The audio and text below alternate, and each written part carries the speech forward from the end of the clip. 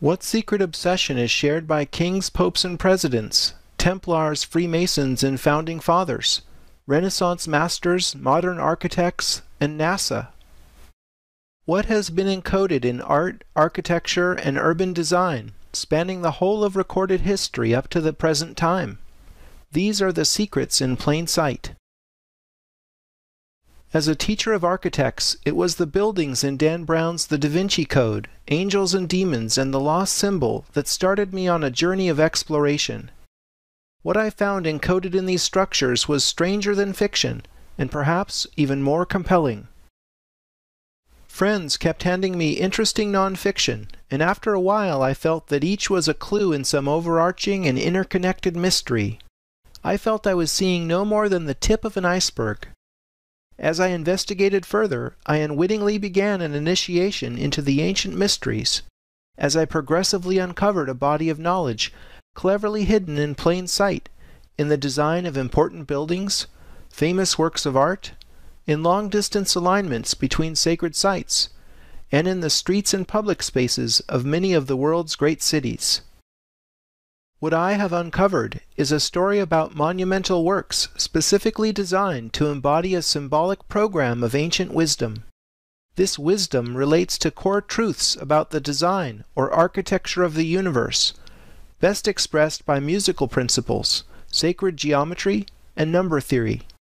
What I am calling the architecture of the universe is closely related to the Hermetic philosophies of Pythagoras and Plato. All is number, all is mind, indeed, all is consciousness. These ideas originated before the pharaohs, and the specifics of this ancient science have been passed down through the centuries by secret groups dedicated to either preserving heretical ideas in dangerous times or to exploiting the knowledge itself for the acquisition of temporal power. You might be surprised to learn how people living at what historians call the dawn of civilization possess the ability to accurately measure the size of the Earth and to survey long distances with a precision rivaling GPS satellites. You'll discover how the oldest surviving temples elegantly encode an understanding of Earth, Moon, and Sun that is in some ways more advanced than modern science.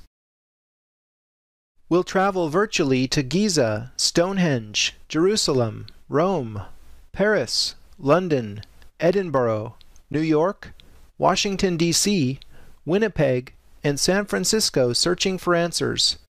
In these places, I uncover an interconnected system of geometry and symbolism, going back at least to ancient Egypt. We'll find Pythagorean triangles, Vesica Piscis, rhombi, pyramids, octograms, enneagrams, and zodiacs encoded in much of the world's great architecture and urban design, exposing a secret obsession with ancient symbolism spanning the centuries on up to the present day.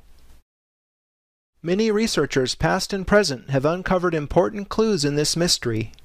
I've synthesized the work of many other authors and been fortunate to make my own connections via books, the internet, and the democratizing power of free tools such as Wikipedia, Google Earth, and SketchUp. What I'm about to share with you is an ongoing effort, and I invite your participation. I believe the time is ripe to reveal what has been hidden for so many centuries and bring this body of knowledge to public attention for the benefit of all. After reading The Lost Symbol, I was intrigued with Washington, D.C. It's a city overflowing with esoteric symbolism. Zooming in from space as we can in Google Earth, let me point out a few landmarks. Here's the White House, Capitol Building, Washington Monument, Jefferson Memorial, Lincoln Memorial, and the Pentagon just across the Potomac. Rick Campbell has uncovered much of the underlying geometry of the city on his informative site dcsymbols.com. He sees the following diagram in the streets and interconnection of monuments. The geometry consists of a pentagram over a cube, all contained within an overarching pyramid. Each one of these shapes carries a meaning we'll be exploring. We'll see later in Egypt how the pentagram symbolizes the microcosm, which is everything in the universe, human scale or smaller. The cube is a recurrent esoteric symbol for the body that we'll be running into all over the world. I found a pair of 3, 4, 5 triangles between the cube and the pyramid. Turning off the cube layer, you see the rectangle surrounding the White House is also made up of a pair of interlocking triangles, this time with 5, 12, 13 proportions. 3, 4, 5 and 5, 12, 13 are the first two Pythagorean triplets.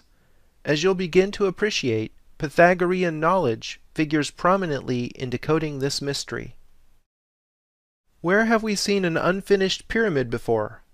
On the back of the dollar bill, of course.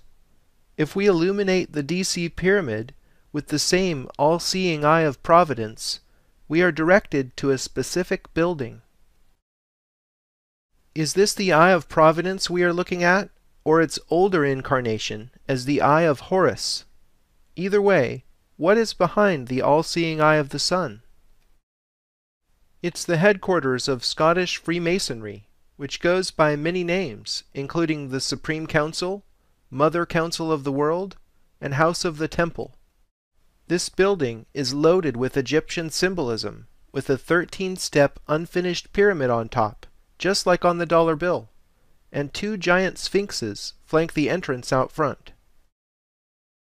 The architect John Russell Pope modeled the 1911 building after the mausoleum of Halicarnassus, now a part of Turkey. As one of the seven wonders of the ancient world, it served as tomb of King Mausolus, which is where we get the word mausoleum. The house of the temple correspondingly serves as tomb of Albert Pike, sovereign grand commander, Confederate general, and the most famous Freemason of his times.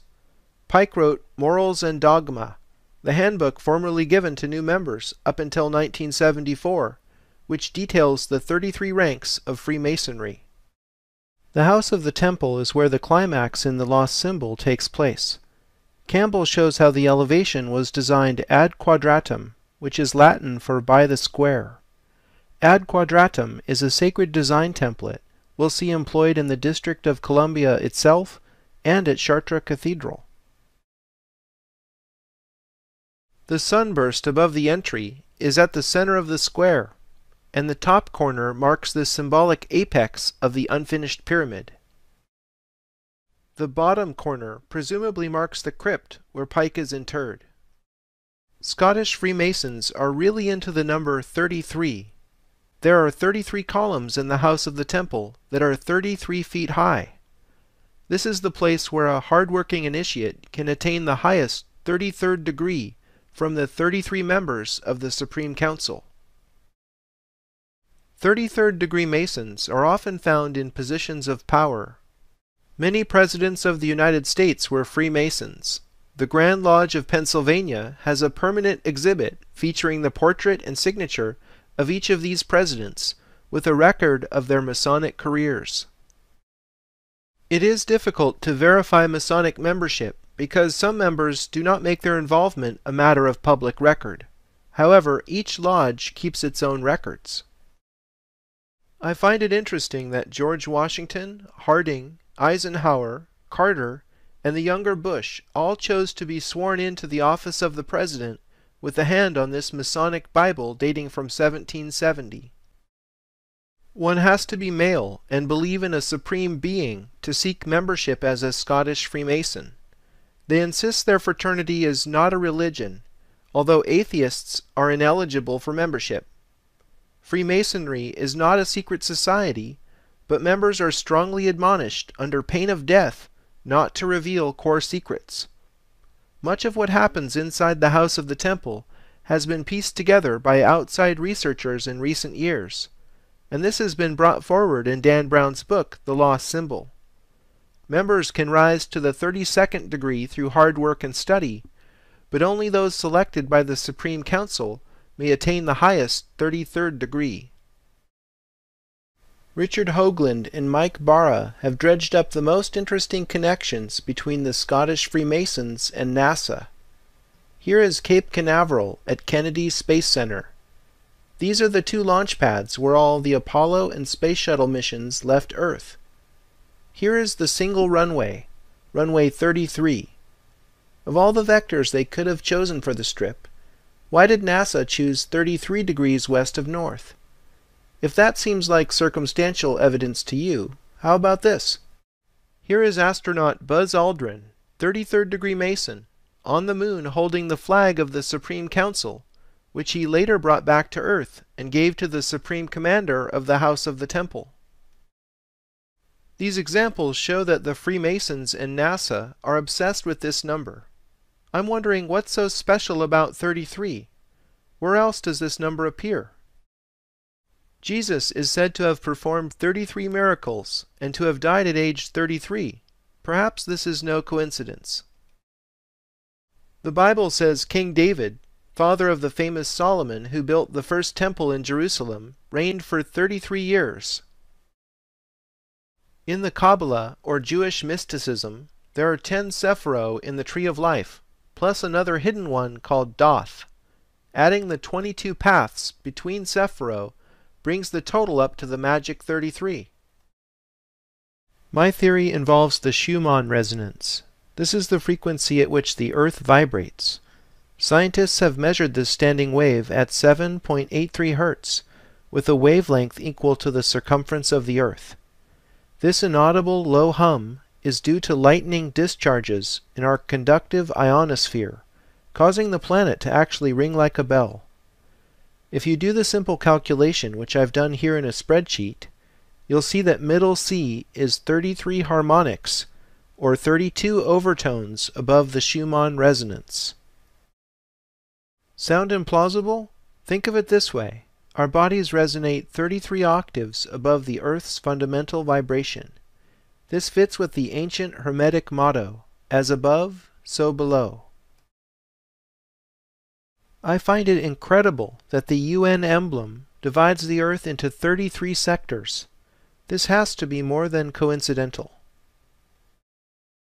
The human spinal column appropriately has 33 vertebrae if you count the fused bones in the lower spine individually. 33 might very well be built into the architecture of the universe.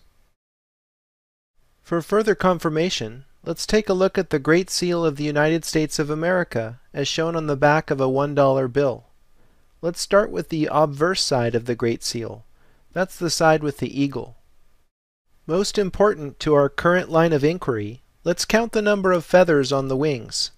The left wing has 33 feathers, and the right wing has 32. Could these refer to the 33 harmonics or 32 overtones just discussed in relation to the Schumann resonance? I think Rick Campbell has correctly decoded the controlling geometry. Three circles with their centers on each other's circumferences form a kind of double vesica Piscis, if you will. A vesica Piscis is formed whenever two equally sized circles come together such that their centers are on each other's circumferences. A Star of David emerges from the three circles' intersection points. Examining the reverse of the Great Seal, we find the same controlling geometry. Look at the letters picked out of the mottos Annuit Coeptis and Novus Ordo Seclorum.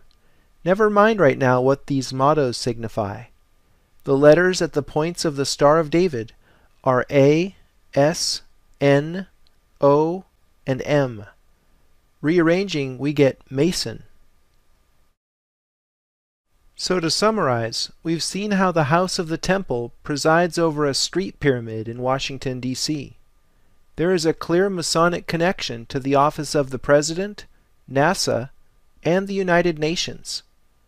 The Scottish Freemasons are obsessed with the number 33, which is echoed in the Judeo Christian tradition having a resonance both with the human body and the earth. It's no secret that Masons trace their history back through the Knights Templar. I was amazed to discover there is an urban village straight across the Potomac from the White House called Rosslyn.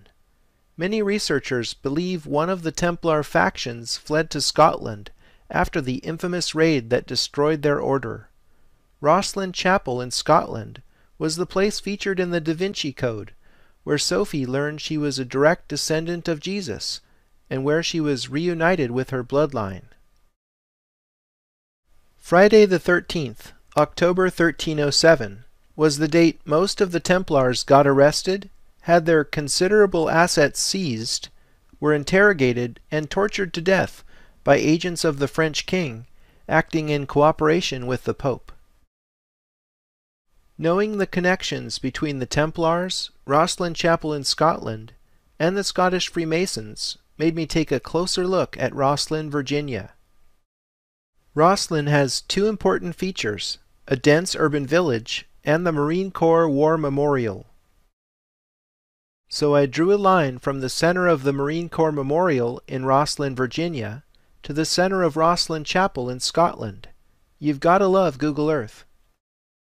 The Great Circle Path passes precisely over the apex of the Eye of Providence and the entire DC Street Pyramid, arguably confirming my line of reasoning. Before we leave Scotland entirely, let's take a detour to Edinburgh. The Royal Mile is Edinburgh's oldest and busiest tourist street. If we measure a line from the facade of Holyrood Abbey, built in 1128 by King David I of Scotland, to the circular tower in Edinburgh Castle, built by the same king, we find that it measures almost precisely 8 sevenths of a mile. The Royal Mile referred to in Edinburgh is therefore the Egyptian Royal Mile by definition. This is a memorable and important unit because, as Richard Heath shows in his book Sacred Number and the Origins of Civilization, there are exactly 3,456 Egyptian royal miles in the polar radius of the Earth. King David built these structures right at the beginning of the Knights Templars' existence, shortly after the Knights returned from Jerusalem and the Gothic building explosion began. Could King David I of Scotland have been connected to the knowledge the Templars unearthed from the House of David in Jerusalem? Let's return to Washington, D.C. and see how the Royal Mile is encoded there in plain sight. Zooming into the area in front of the Capitol building, many researchers have identified Masonic compasses built into the street plan. The compasses that run along Pennsylvania and Maryland avenues point to the White House and the Jefferson Memorial. The spread of the compasses is one royal mile. I might chalk this up to coincidence if it wasn't for the diagram Richard Heath has published in Sacred Number. Heath's diagram is drawn as a grid of equilateral triangles, so every edge measures one royal mile. The Jefferson Memorial, White House, and House of the Temple are centrally located on these nodes. The point of the pentagon facing the White House is at this node. This is simply too much coincidence to have not been the product of intentional design. I find the ancient flower of life diagram fits perfectly into this grid. The flower of life has been found all over the world. Wikipedia lists the flower of life in 15 countries so far. Here's the flower of life at the Osirion Temple in Abydos, Egypt, which is a minimum of 3,300 years old. It's a little known fact that Leonardo da Vinci even studied the flower of life. This is the second depiction of a cube we've seen in DC. Metrology, the science of measurement, is one of the keys to deciphering secret architecture. Each side of the larger cube spans two triangles, forming an edge length equal to two royal miles. The polar radius of the Earth is 1728 times 2 royal miles. This equals the 3456 royal miles referenced by the Edinburgh Royal Mile. The number 1728 links DC with the mythical New Jerusalem described in the Bible. And the city lieth four square, and the length is as large as the breadth. And he measured the city with the reed, twelve thousand furlongs. The length and the breadth and the height of it are equal. The dimensions of New Jerusalem describe a cube whose volume is 1728 billion furlongs. Did you ever wonder why the US and Israel have such a strong bond? DC is the New Jerusalem. Here's the 1992 Israeli Supreme Court building in Jerusalem. Does this pyramid on top containing a window look familiar? It appears to be the Eye of Providence, the same symbol found in the streets of DC and on the dollar bill. Many researchers have seen the Tree of Life from Jewish mysticism encoded in DC's traffic circles and monuments. However, DCSymbols.com is the only place that shows how the streets and traffic circles match this early depiction of the Porte Lucis Tree of Life from 1516. The Portal of Light version is shaped like an actual tree. Maybe that's where the Tree of Life got its name. Scott Circle's gently curving streets mimic the shape of the Pythagorean Y. In the secret architecture of our nation's capital, Author David Ovason says, The Pythagorean Y is a vestigial drawing of a path through life, in which one is perpetually presented with a choice of symbolic directions. Should one do good or bad? Scott Circle is in the position in the tree of life known as Doth, the hidden Sephiro. According to the Kabbalah, the reason Doth is depicted as hidden is because humans who remain selfish cannot see it. Only those who orient themselves in the service of others are able to see the light of Doth, in which all ten Sephiro are united as one. I think Scott Circle exemplifies the secret architecture of DC. It's plain to see once you have the knowledge, but remains hidden to the general public. Most people who know the Tree of Life are more familiar with the Athanasius Kircher version of 1652, which is arranged in three columns. The Kircher version is seen here in John Evelyn's plan to rebuild London after the Great Fire of 1666. Both he and Christopher Wren submitted plans based on the Tree of Life, although Wren's wasn't as in your face as Evelyn's. Neither were actually carried out, but it shows you this kind of esoteric symbolism wasn't anything new when DC was laid out a century after the Great Fire of London. As you've seen, there is a deep connection to Judaism, both in the Tree of Life and in the metrology of Richard Heath's larger cube that links Washington, D.C. with the mythical New Jerusalem in the Bible. To understand why both the Flower of Life and Tree of Life are in D.C., you need a one minute visual education in sacred geometry. The Flower of Life grows on the Tree of Life. Flower of Life geometry is based on the 2D reality that six circles fit perfectly around a central seventh, shown here with quarters. Flowers eventually bear fruit, and with a growth of circles we have the traditional fruit of life diagram, containing 13 circles. Connecting the dots reveals Metatron's cube, an important diagram in the study of sacred geometry.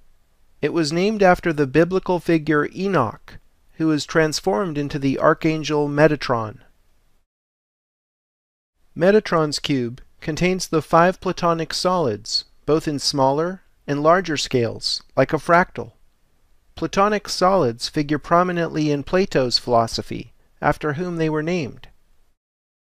The dots and the interstices encode the pattern of two intersecting Pythagorean tetractyses, this is the pattern on the dollar bill, in what is called glory above the eagle's head.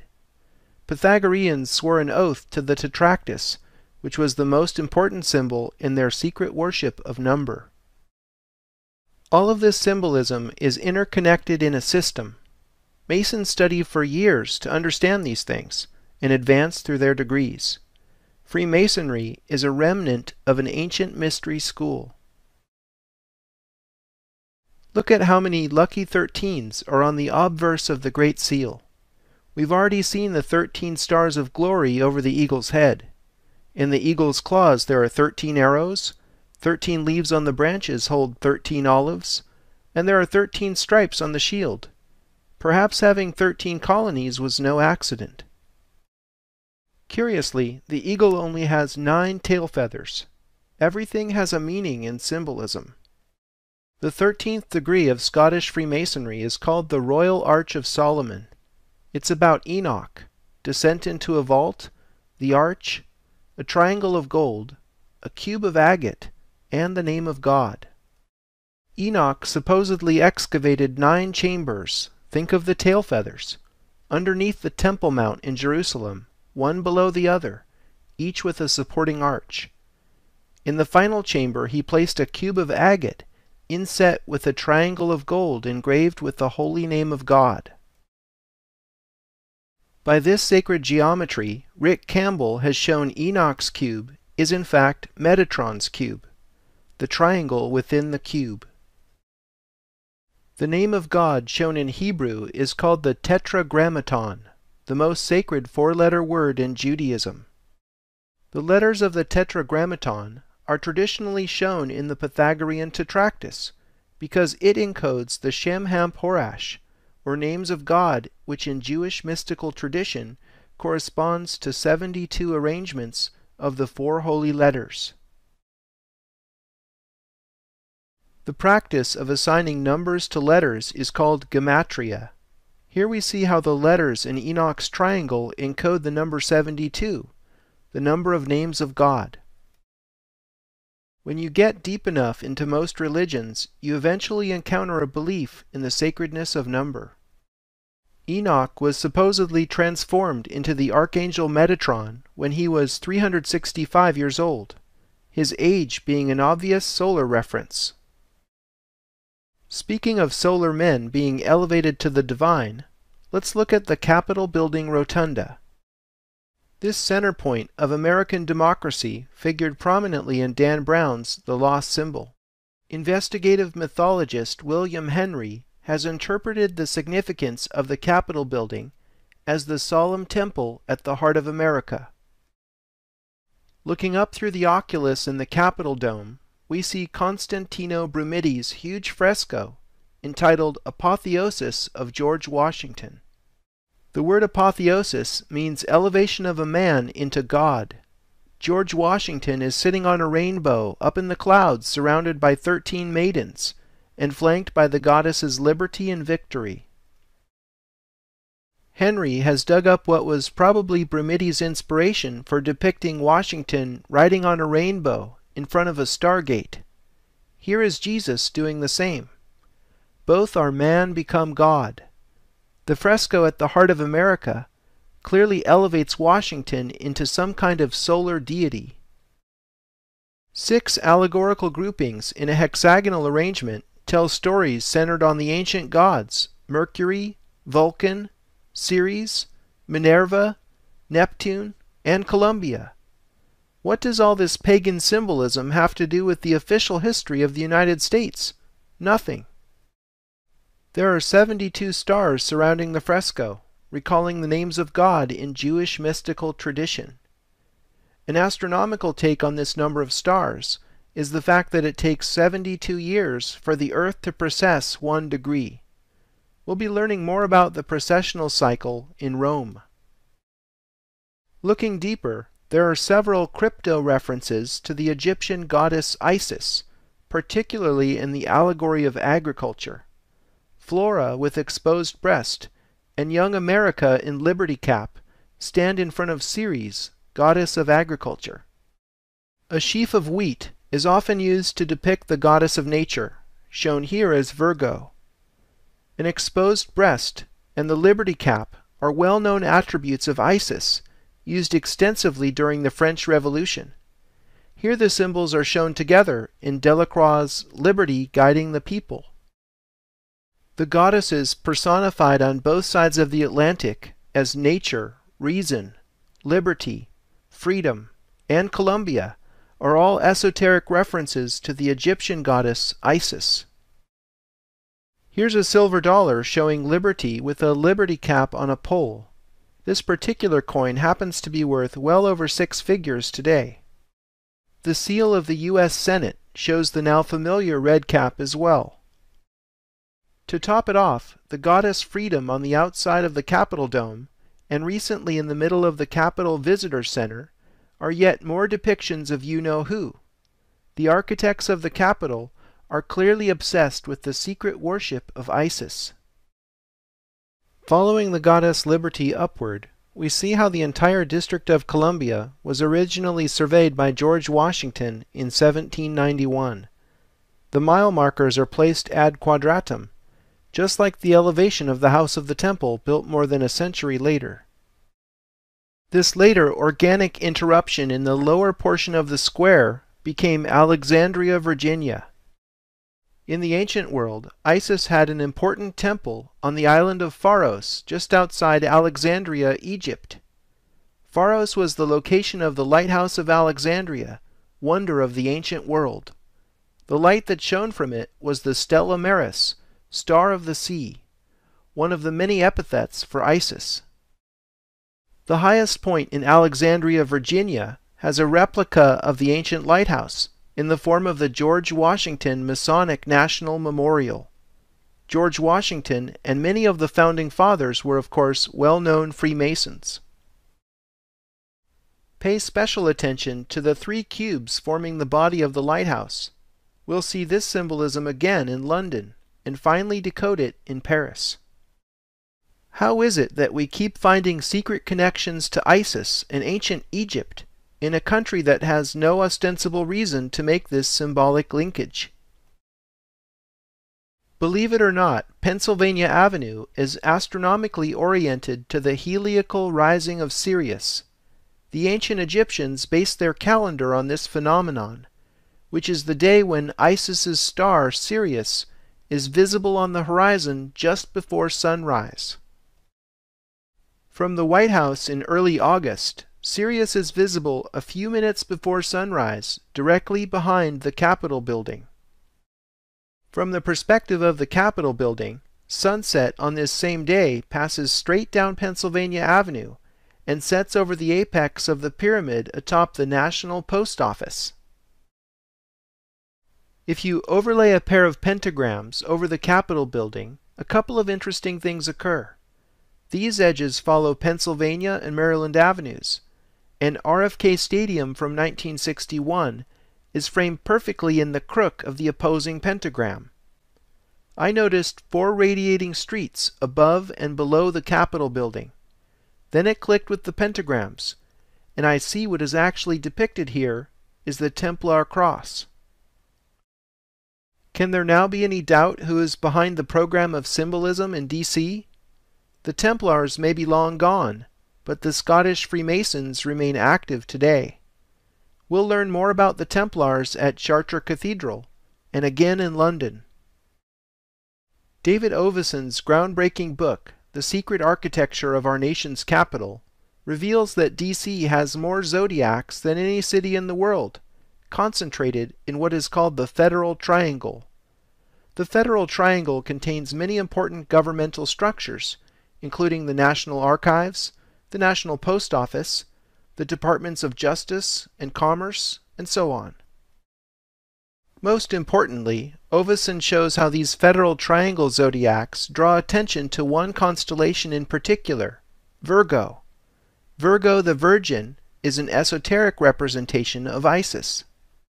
Ovason's research into Masonic symbolism led him to map the stars Arcturus, Regulus, and Spica to a terrestrial triangle connecting the White House, Capitol building, and the point where many think the Washington Monument was supposed to be.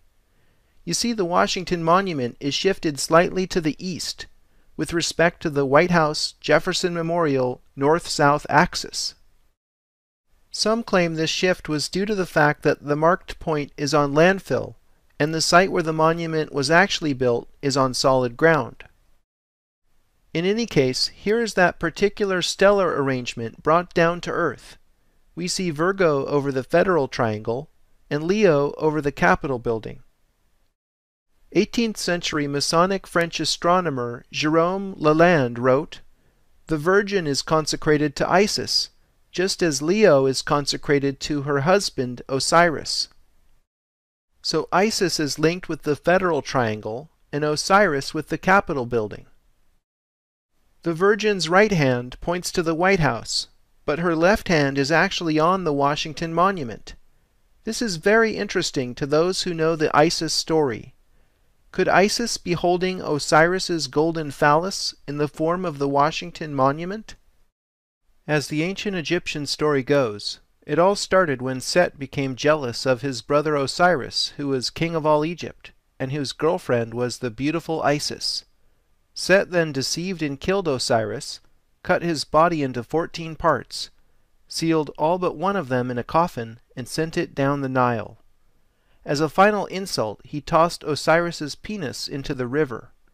His sister consort Isis was at length able to recover and magically reconnect all of Osiris's parts, except for his penis, which was unfortunately eaten by a fish. Isis fashioned a golden phallus, attached it to Osiris, and brought him back to life with a song. From this experience, the resurrected Osiris became Lord of the Dead. Isis was impregnated with the golden phallus, and their son Horus grew to become god of the sun. It's the original story of sex and violence, jealousy, incest, and pregnancy. The Washington Monument is an obvious phallic symbol. The Vesica Piscis paths surrounding the obelisk suggest female genitals. Taken together, the symbols represent the joining of Osiris and Isis and the conception of the sun god Horus. Now maybe you think I'm going too far at this point, but take a look at what is above the elevator that goes up the shaft of the Washington Monument, the same ride Robert Langdon took at the end of the lost symbol. Right above the elevator doors there is a bronze sculpture of George Washington, sculpted by French Freemason Houdon, and above that is the winged disk of Horus. What in the world does this Egyptian solar symbol have to do with America? It's a clue to the secret meaning of the obelisk, in the most public of places, but how many actually see it and understand? The dimensions of the monument are all sixes and fives. What an amazing coincidence that 6,660 inches equals 555 feet. We'll decipher the meaning of sixes and fives in Egypt. The Washington Monument is not a true obelisk cut from a single piece of stone. Instead, it is both literally and figuratively a monumental work of masonry. Bernard I. Pietsch's meticulous metrological study of the Washington Monument reveals a sacred diagram projected on the earth. Based on the exact height and angle of the pyramidion, its face and ridge lines project down to the ground and trace circles that are proportioned ad quadratum with respect to each other. The diagram shown here is called the octagram star in mathematics. It's a symbol used in many religions and cultures around the world. I'll briefly trace the octagram star through history to uncover its meaning. The earliest example I've found that has this symmetry is the Star of Inanna, the Sumerian goddess whom I think all the Isis obsession is ultimately based on. Archaeologists identify the Sumerian culture as the oldest civilization on Earth. Sumeria predated ancient Egypt, but it wasn't even discovered until 1890. So that must be why most esoteric references are to Isis rather than Inanna. I highly recommend reading the collective works of Zecharia Sitchin for an alternative, albeit controversial theory on the origins of civilization. But that's another documentary entirely. I have found the octagram star in many other places around the world. The Hindu star of Lakshmi is a pure octagram star. The Egyptian Ogdoad adds a central cosmic egg to the mix, containing the sun god Ra. The structure of the Celtic calendar resonates with the octagram star. The Gnostic theologian Valentinus transformed Egyptian concepts into Christian ones in his second century cosmology featuring the pleroma, or Godhead, in the center. The Buddhist Wheel of Dharma has this as its symbol, incorporating the Eightfold Path. Islam uses the Rub el Hizb as its symbol. Found in the oldest Korans as a chapter marker, here it is expressed fractally in Muhammad's tomb in Medina. The Eastern Orthodox Church used octagram star symmetry in numerous depictions of Christ Pantocrator and in the Transfiguration. Even the seemingly unrelated Aztec culture produced their calendrical Piedra del Sol having this remarkable symmetry. Finally, the Vatican also encoded this powerful symbol in St. Peter's Square. The ancient Egyptian obelisk at its center is literally a gigantic sundial with stones in the pavement marking the seasons. So the octagram star is resoundingly a solar symbol, appropriately fitting the male obelisk, which is the primary reading of the Washington Monument. However, female energy is not entirely neglected in the Washington Monument. We've already seen how a stretched Vesica Piscis symbol surrounds the obelisk. Rick Campbell has brought something even more hidden to light. If you draw Vesica Piscis to scale, with the circle's diameters equal to the height of the Washington Monument's 555 feet, the Great Pyramid of Egypt fits perfectly inside the vulva. This is no accident. The architect who designed the Washington Monument must have wanted to secretly link it with the Great Pyramid. The Great Pyramid and the Washington Monument both have phi in their proportions which is one of the most interesting numbers in mathematics. The last thing I noticed in Washington, D.C. propelled me on a virtual journey around the world. Remember the pair of interlocking triangles surrounding the White House? It struck me that the horseshoe-shaped lawn in the White House backyard looked a lot like the bluestone ring at Stonehenge. That got me thinking how these two triangles together form a 5 by 12 rectangle, that has the same proportions as the station rectangle at Stonehenge. Following this hunch, I drew a line from the tip of the federal triangle to the center of Stonehenge. Later on, I happened to zoom into New York City when this layer was on, and saw that the alignment perfectly bisects Central Park. That's probably not an accident, so here we go. The angle that this large-scale alignment takes through Central Park matches the interlocking Pythagorean triangle's hypotenuses. Four such triangles match Central Park's proportions of 5 to 24 precisely. I then wondered, what is this unusual aqueduct doing just under the surface of Jacqueline Kennedy Onassis Reservoir? It seems to mirror the triangle's hypotenuse angle. That's certainly odd but in my research I've learned to follow so-called coincidences wherever they lead. The aqueduct leads us to the Metropolitan Museum of Art. Getting closer still, we see this variation of the Templar flag in the atrium of the Robert Lehman collection. Incidentally, Albrecht Dürer's esoteric masterpiece, Melancholia I, is in this collection, and we'll study it in Egypt.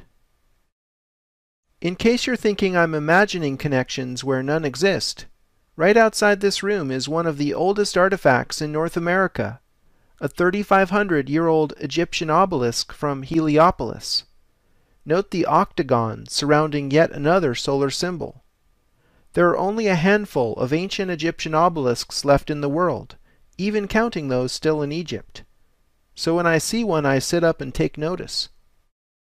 This obelisk is the twin of Cleopatra's Needle in London. Egyptian temples typically had paired obelisks at their entrances, so the obelisks now in New York and London used to together frame the entrance to a temple in Heliopolis. It was quite a difficult and expensive project in the 19th century, and even today, to transport a 224 ton slab of granite halfway across the planet. Connecting nations with ancient Egypt was apparently a very powerful motivator to the Freemasons who bothered moving these obelisks. Overlaying the floor plan, we see what the aqueduct is pointing to literally an ancient Egyptian temple within the Sackler wing of the Met. The Temple of Dendur had to be removed from its original site in order to save it from being submerged by the construction of the Aswan High Dam. In 1965, the government of Egypt presented the temple as a gift to the United States, which was ceremonially represented by Jacqueline Kennedy Onassis. That's quite a coincidence, considering the aqueduct in Jackie's Reservoir led us to the very temple she received. Was the former First Lady playing the role of Isis? While we're in New York, let's take a look at one of the most famous tourist spots and greatest symbols of America and visit the Statue of Liberty. The authors Graham Hancock and Robert Bauval have researched the Statue of Liberty, and you might be surprised what they have found. French sculptor and well-known Freemason Bartholdi designed the colossal statue originally for the opening of the Suez Canal in 1867. Fellow Freemason Gustave Eiffel, who was later made famous for his Parisian Tower, was commissioned as the statue's engineer. It is said Bartholdi modeled the sculpture after the Roman goddess Libertas. The truth is Libertas was an echo of the Egyptian goddess Isis. After Bartholdi's Colossus was rejected for the Suez Canal due to financial reasons, he repurposed it as the Statue of Liberty for New York Harbor. It comes as no surprise that the cornerstone for the Statue of Liberty was laid in a Masonic ceremony. Researcher Jim Allison has connected the dots and identified the triangle between Giza, Pharos, and the opening of the Suez Canal. The angle of this triangle matches the slope of the Great Pyramid and looks like the Greek letter delta, which beautifully echoes the Nile Delta. The Colossus of Rhodes was one of the seven wonders of the ancient world. The giant statue that stood on the island of Rhodes depicted Apollo, god of the sun, who also wore a crown of seven rays. Seven rays is very interesting in light of the culmination of the initiation ceremony into the cult of Isis. According to 19th century author Edward Schuré, after a successful initiate survived all the harrowing tests and triumphed over death by fire, water, and temptation of the senses, he was led into an inner sanctum where he looked upon a colossal metal statue of Isis, crowned with a diadem of seven rays. I believe seven is Isis's secret number. Isis's son Horus was god of the sun, just as Apollo depicted in the Colossus of Rhodes was god of the sun to the Greeks. You'll see that the Statue of Liberty's base star is quite odd, having 11 points. I think this was done to make the number symbolism in the Statue of Liberty fit an important Egyptian structure, the Great Pyramid of Giza, whose height to base proportion is 7 to 11, like the famous convenience store's name. And if you didn't get 11 from the base star, the height of the statue from heel to top of head is 111 feet 1 inch. So it all fits now you see how the Statue of Liberty secretly depicts the Egyptian goddess Isis. Extending the line of the submerged structure in the reservoir that led us to the Temple of Isis all the way to the East River, we are directed to the United Nations headquarters in Midtown Manhattan. The iconic Secretariat's building proportions are based on phi. As you know, this proportion links the structure with the Washington Monument and the Great Pyramid. Did you know the 69,000 square meter site of UN headquarters is considered international territory and is technically not a part of New York City? The UN headquarters has its own security force, fire department, and postal administration that even issues its own stamps. The notion of UN headquarters being a city within a city reminds me of how the Vatican is also a city within Rome. I like to refer to this as a nested city or fractal structure. I was fascinated to discover that the Italian government donated an Arnaldo Pomodoro sphere within sphere sculpture to the UN in 1991. The golden ball beautifully represents the concept of a city within a city. The internal structures seem to me like buildings and streets on the inner surfaces of the spheres. I'm intrigued because I've seen three other similar sculptures in locations significant to my research. Pomodoro made a series of six spheres within spheres, scattered around the world.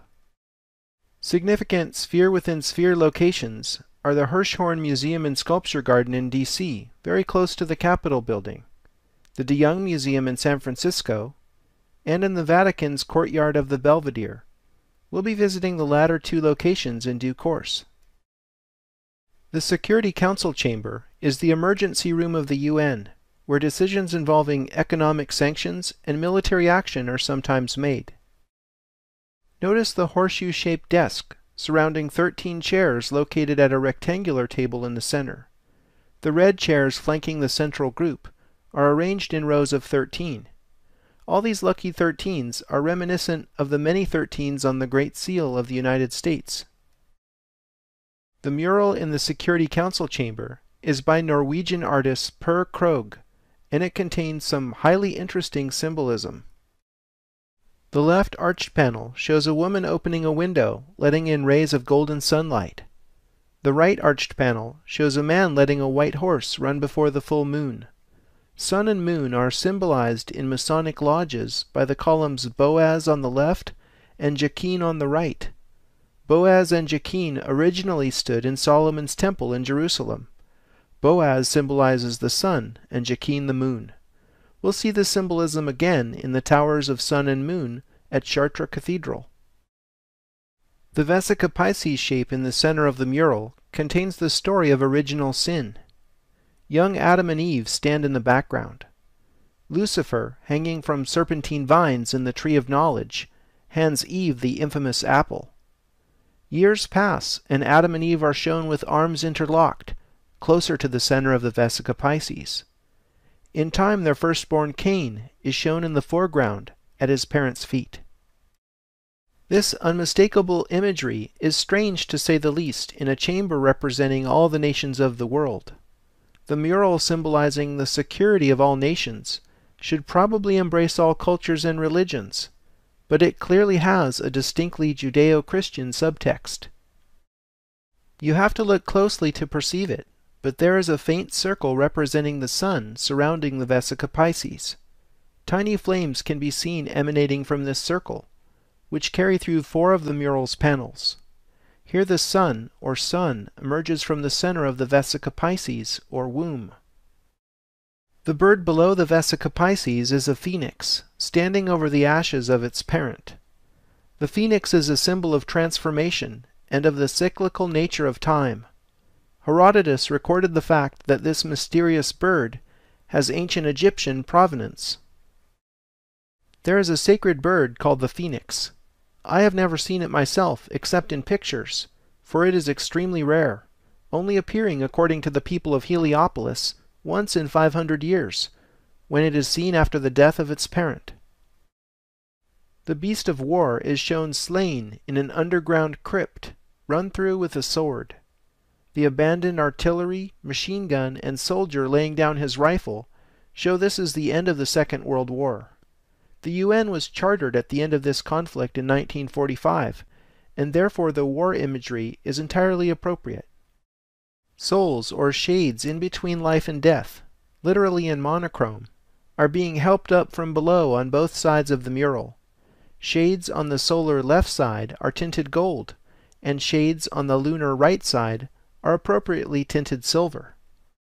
The original motto of the French Revolution, Liberté, Égalité, Fraternité, or La Mort, liberty, equality, brotherhood, or death, surprisingly maps to much of the remaining symbolism.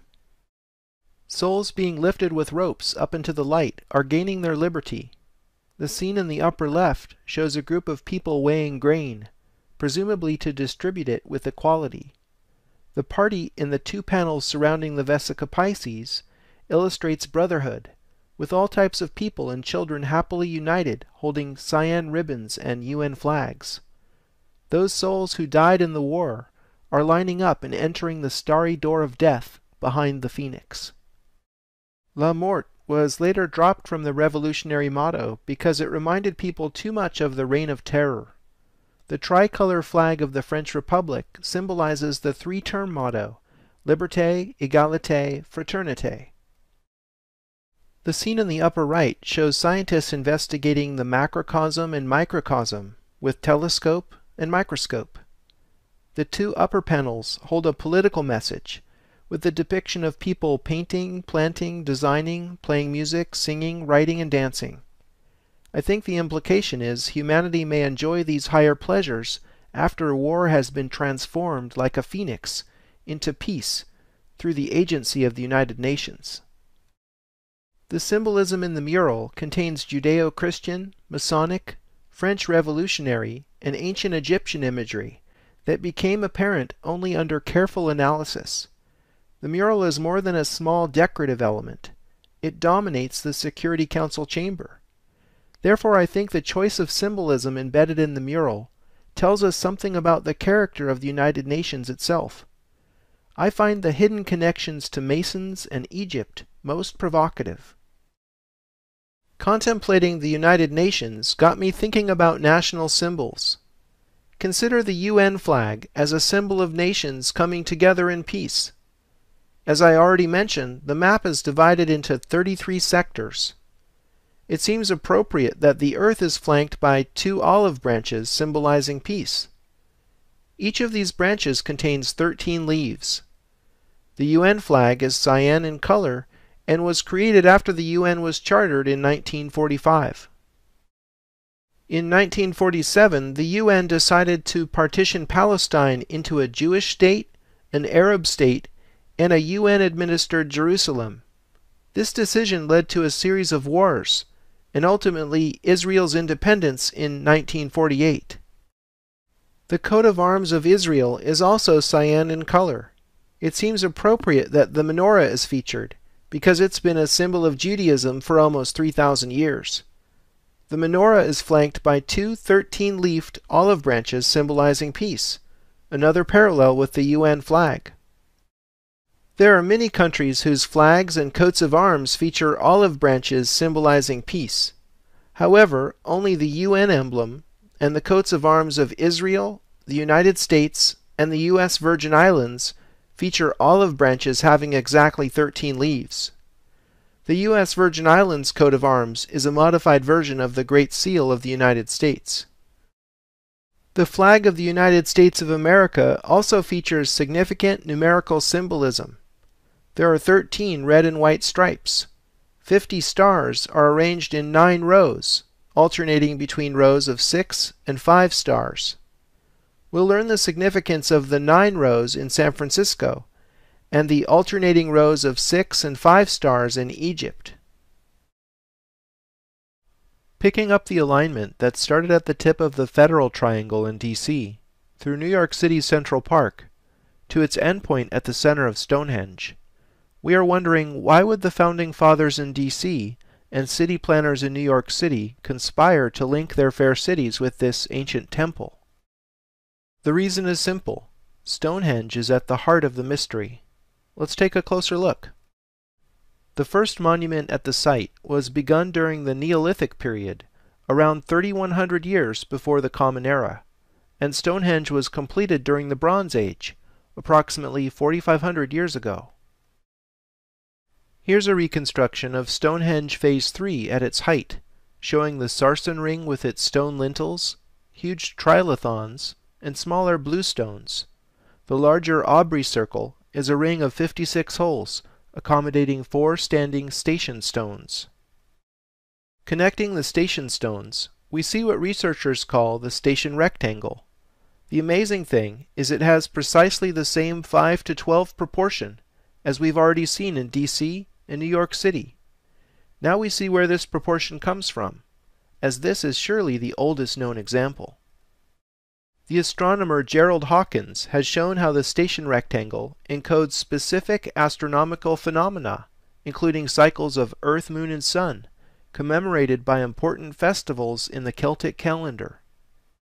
Stukeley, one of the founders of the field of archaeology in the 18th century, whose great work was studying Stonehenge, claimed that Freemasonry was a legacy of the Druids, who in turn got their knowledge from the ancient Egyptians.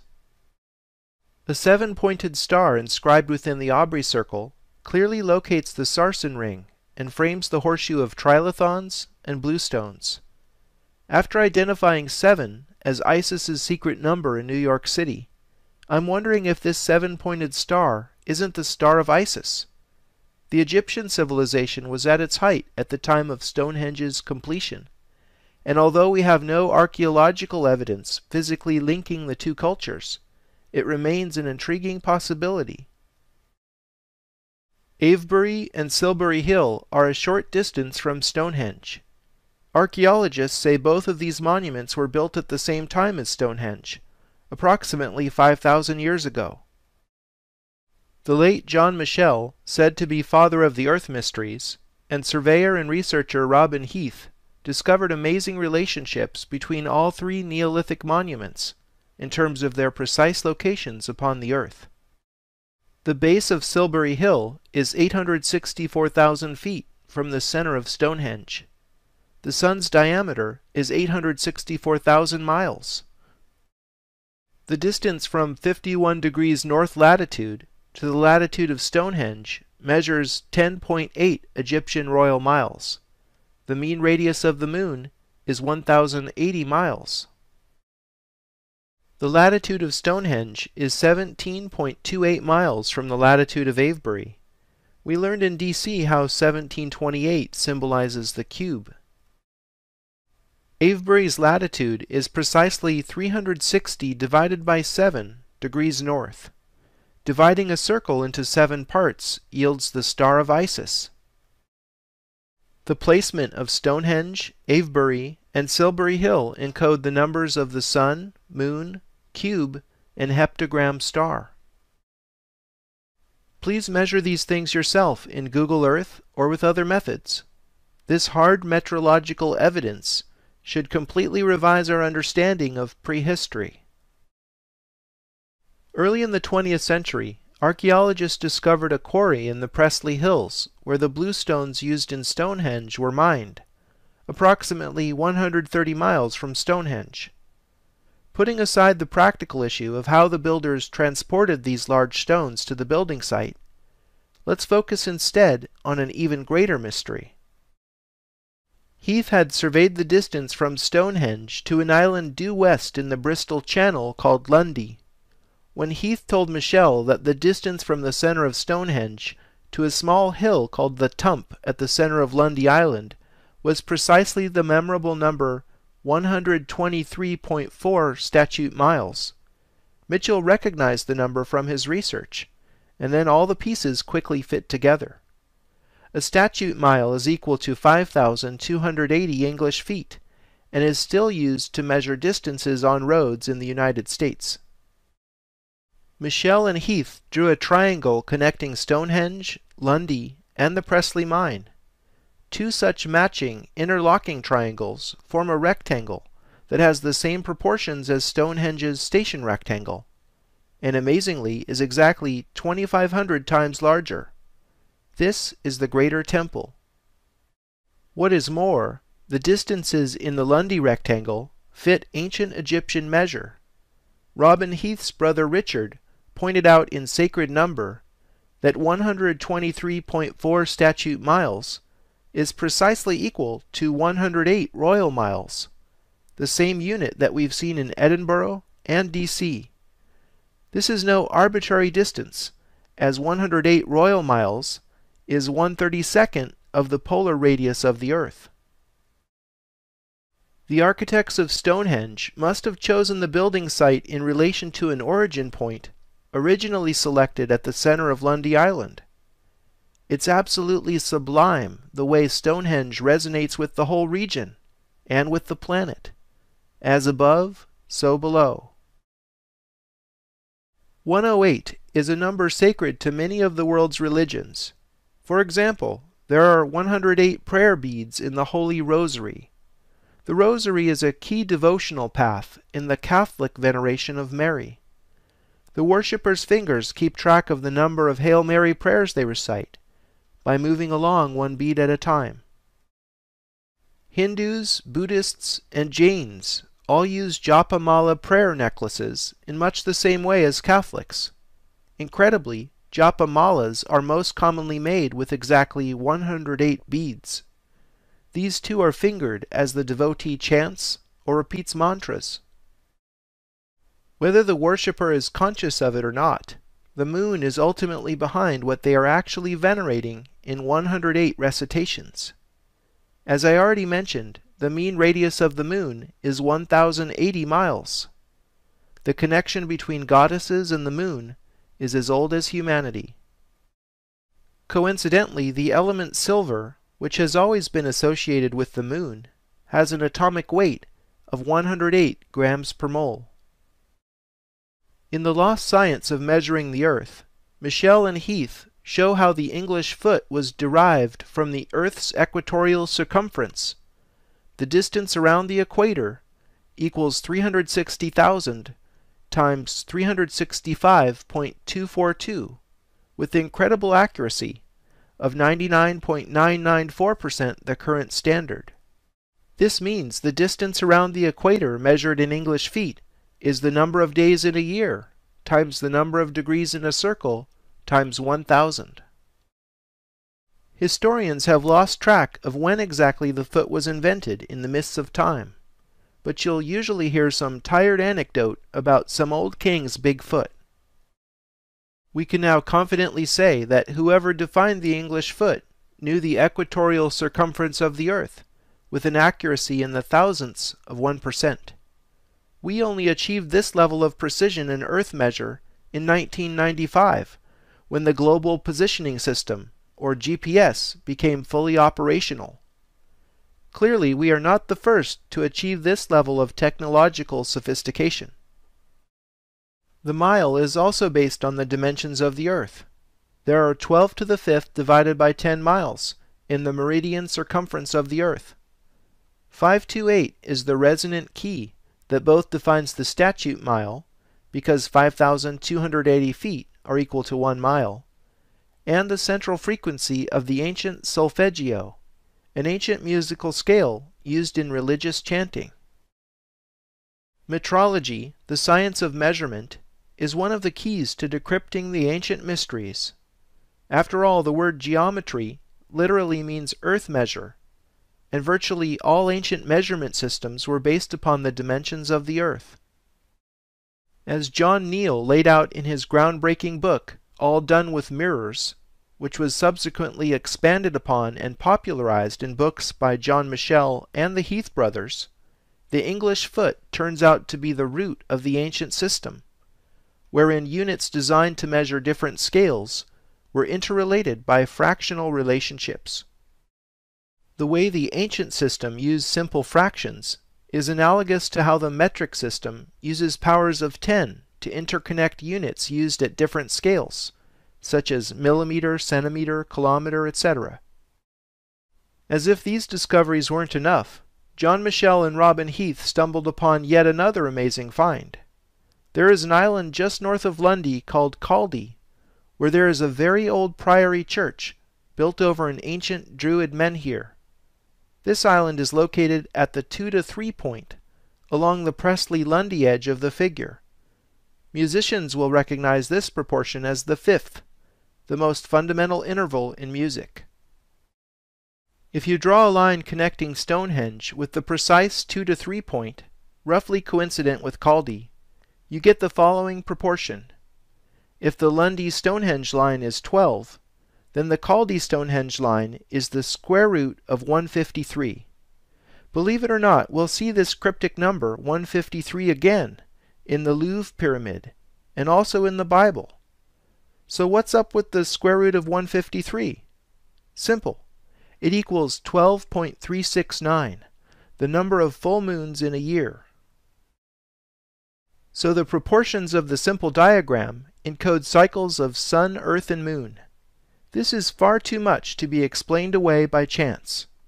However, Michell and Heath don't offer a theory as to how Neolithic tribespeople knew the precise size of the earth, surveyed such long distances, or understood subtle mathematical and astronomical relationships, living in what we know for certain to be an utterly primitive physical culture. Logically, one must consider the possibility that someone other than Neolithic tribespeople built Stonehenge. Michell and Heath's work sadly hasn't been accepted by the scientists of our times, and is ridiculed as pseudoscience, because their research has exposed how little we really understand about the origins of civilization. I, for one, urge you to keep an open mind, and to weigh the evidence yourself using the scientific method. Academics today have little tolerance for theories that completely upset the apple cart if they wish to keep receiving funding. I don't have an unassailable theory either, but I will say that the builders of Stonehenge sure had some extraordinary architects directing their work.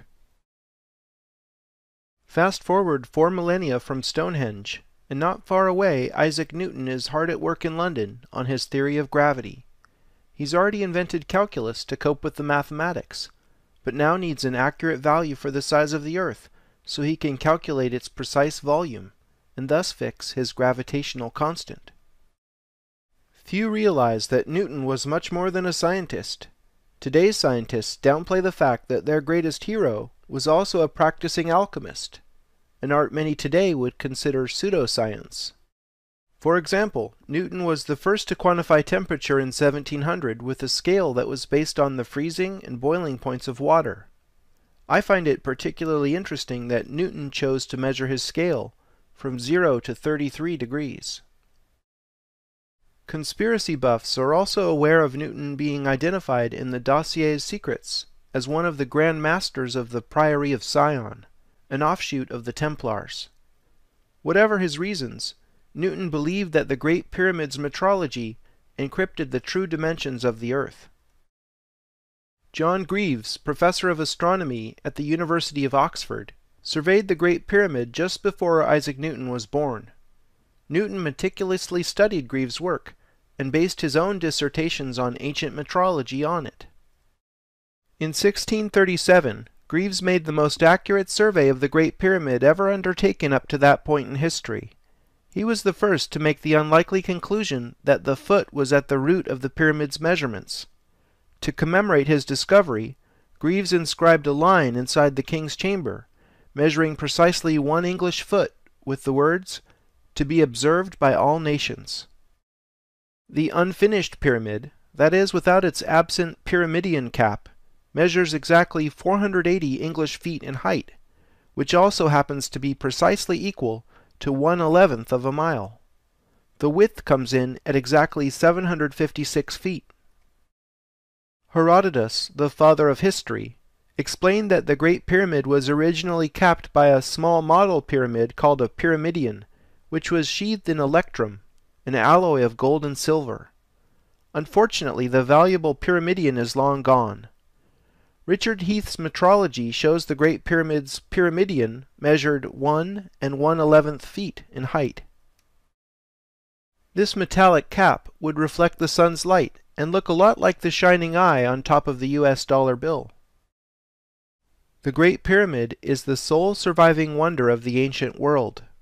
It remains the oldest, largest, and most accurate building ever built. It was the tallest structure in the world for four millennia. It is aligned within a tenth of a percent of true north, and its 13 acre base supporting 2.3 million blocks of stone is horizontal and flat to within 15 millimeters. The mean opening in joints between exterior casing stones is less than half a millimeter. The scale and accuracy are astounding. I believe that even with all the money in the world, we do not have the technical capability to replicate the Great Pyramid today. There is much to be said about the Great Pyramid's proportions. I've already mentioned how 7 to 11 was encoded in the Statue of Liberty. Renaissance artist Albrecht Dürer used the half triangle proportion of 14 to 11 in his esoteric masterpiece Melancholia I. Richard Heath has found the half triangle also encodes 365 days to 20 moons, an interesting astronomical take on the mystery. Notice how pi and phi, two of the most important numbers in mathematics, are also implicated and interrelated in the pyramid proportions. John Charles Webb Jr. has made a profound discovery about the location of the Great Pyramid that is unfortunately widely ignored because of its utter implausibility. Using Google Earth, we can measure the exact latitude of the center of the Grand Gallery inside the pyramid. It is 29.9792458 degrees north. The speed of light in the vacuum is 299,792,458 meters per second. Incredibly, these are the same numbers. How can this be? This correlation is either pure coincidence or evidence of something very profound. The meter as unit of length and the practice of dividing time into seconds would have to be coordinated for the location of the Great Pyramid to encode the speed of light. Nothing may sound more improbable, but this is exactly the sort of numbers game that I think the ancients played. Consider the fact that one second is one Earth rotation divided into 86,400 parts, because one day is equal to 86,400 seconds. Recall from the Stonehenge and San Francisco episodes that the Sun's diameter is 864,000 miles, and 864 is the number of the Sun. Perhaps the second and the mile were skillfully designed to express this beautiful harmony with the Sun. The kilometer was originally defined by assuming the Earth's meridian circumference equals 40,000 kilometers. In Paris Part 3, you'll learn more about something I call the Canon of 400. For a taste, consider that during a solar eclipse, the moon perfectly covers the sun disk. The only reason this occurs so precisely is because the moon is exactly 400 times smaller than the sun, while at the same time the moon is 400 times closer to the earth than the sun. In addition, the earth turns 400 times faster than the moon. Perhaps saying the earth has a meridian circumference of 40 million meters was no accident, as it's in the same number canon. I think the meter was secretly designed to resonate with the sun. In fact, today the meter is circularly defined in terms of the speed of light, which is itself measured in meters per second. Consider the possibility that the meter is an ancient unit that was merely reintroduced 300 years ago, during a time of great Hermetic obsession in France. With these facts in mind, it is easier to see how disparate units based on our planet's source of light truly encode the speed of light using the location of the Great Pyramid itself. Our history books somehow miss the fact that architects at the dawn of history knew the speed of light in the vacuum and the exact size of the Earth with pinpoint accuracy. Perhaps the Great Pyramid was made before the Egyptian culture began, by different architects entirely. In 1964, Alex Badawy and Victoria Trimble discovered that shafts in the king's chamber within the Great Pyramid pointed directly at a belt star in the Orion constellation, and the pole star at the time the pyramid was built. In 1993, Rudolf Gantenbrink got permission from the Egyptian authorities to send a robot up shafts in the Great Pyramid. He was able to accurately measure the exact shaft angles, and this data allowed Robert Bauval and Adrian Gilbert to run astronomical calculations showing precisely where the shafts in the king's and queen's chambers are pointing to in the sky. In their 1995 book, The Orion Mystery, Bauval and Gilbert revealed that the shafts in the Queen's chamber point directly to the star Sirius in the south, and to the pole star at the time the pyramid was built in the north.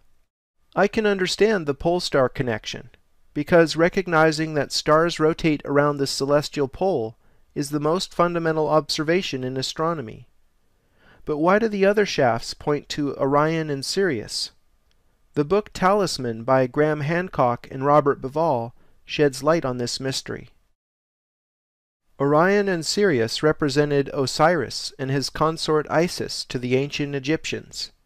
They are in a region of the sky called the Duat, the Egyptian netherworld, where souls journeyed and were judged after death. Hieroglyphs in the 3,400 year old tomb of Thutmose III explain the benefits of copying the Duat upon the earth. Whoever shall make a copy of the Duat and shall know it upon earth. It shall act as a magical protector for him, both in heaven and in earth, unfailingly, regularly, and eternally. So the Egyptians believed building copies of Orion and Sirius upon the earth acted as magical talismans, bringing the power of heaven down to earth. We've certainly seen a much more recent example of this in Washington, D.C. The Orion constellation is often depicted as a hunter with a sword between his legs. Dan S. Ward of Halexandria.org says, No male wears a sword between his legs, and very few hunters carry a sword. Perhaps a more appropriate description of that which is hanging down below Orion's waist is that of a phallus. The area of Osiris's phallus contains the Orion Nebula, one of the most studied regions of space because it is an incredibly generative area where stars are continually being formed. How appropriate. By the way, we are in the Orion spur of the Milky Way galaxy, and Sirius is the brightest star in the sky by a wide margin because it is one of our nearest neighbors. We now have the astronomical knowledge to recognize we are actually quite close to the duat. Bauval and Gilbert showed that the three pyramids of Giza actually have the same position and relative sizes as the belt stars of Orion. Dr. Gerhard Heine noticed that just as the belt stars of Orion point at Sirius, the pyramids point directly at Heliopolis, ancient center of Egyptian science, art, and religion, which was a single unified body of knowledge in ancient times. Pythagoras, Plato, and many other ancient philosophers journeyed to Heliopolis, were initiated there in the Egyptian mysteries, and spread them in the West. Today the only thing that's left of this entire city is a single obelisk, which happens to be the oldest standing obelisk in the world. Incidentally, this single obelisk is all that's left of the ancient Temple of the Phoenix, which was described by Herodotus. I can't help but recall phoenix imagery in the Security Council chamber of the United Nations. It's amazing how many connections there are between the symbolism of the elite and ancient Egypt. You've already heard about one Heliopolitan obelisk next to the Met in New York City, and its pair on the Victoria Embankment in London. Rome has the remainder of the Heliopolitan obelisks left in the world. Heliopolis was the cult center for the nine great Egyptian gods, collectively called the Ennead. We'll learn more about the Ennead in San Francisco. In the first decade of the 20th century, G. I. Gurdjieff went on a mystical journey where he met with a number of remarkable men. At Mount Athos in Greece, he was supposedly entrusted with the key to decoding ancient Egyptian knowledge preserved by the Sufi Sarmoung Brotherhood. The key he received is the Enneagram and the means to decipher it. The Enneagram is the fundamental hieroglyph of a universal language. All knowledge can be included in the Enneagram, and with the help of the Enneagram, it can be interpreted. Gurdjieff's philosophy was popularized by his pupil Ouspensky, and through him the Enneagram found its way into modern psychology. The Enneagram of Personality is a typology described by Riso and Hudson that's used in business, psychotherapy, arts, education, and for spiritual development. The Baha'i Faith correspondingly uses a nine-pointed star as its symbol. Baha'i scripture specifies that every house of worship must feature a nine-sided great room. There is even a Christian connection. In the ninth book of the New Testament, St. Paul wrote, the fruit of the Holy Spirit is love, joy, peace, patience, kindness, goodness, faithfulness, gentleness, and self control. Against such things there is no law. Here is the traditional depiction of the fruits of the Holy Spirit, shown with first letters in Latin. It's another nine pointed star. With these things in mind, let's explore the sacred geometry of San Francisco. Believe it or not, San Francisco is steeped in Egyptian symbolism. The original Michael H. DeYoung Museum that was built in 1894 had an Egyptian theme, complete with an under-pyramid entrance that anticipated the recent addition to the Louvre. The museum was unfortunately destroyed in the 1906 earthquake, and the DeYoung Museum is presently in its third incarnation. However, the two sphinxes that flank the original museum's entrance are still there. The Transamerica Pyramid is a landmark worldwide and is the most famous building in the city. But the Transamerica Pyramid neither houses the headquarters of the Transamerica Corporation nor is it really a pyramid. Does it remind you of an obelisk?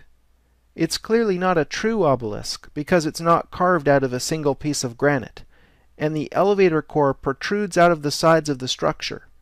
But we can see beyond this modern necessity to perceive its symbolism.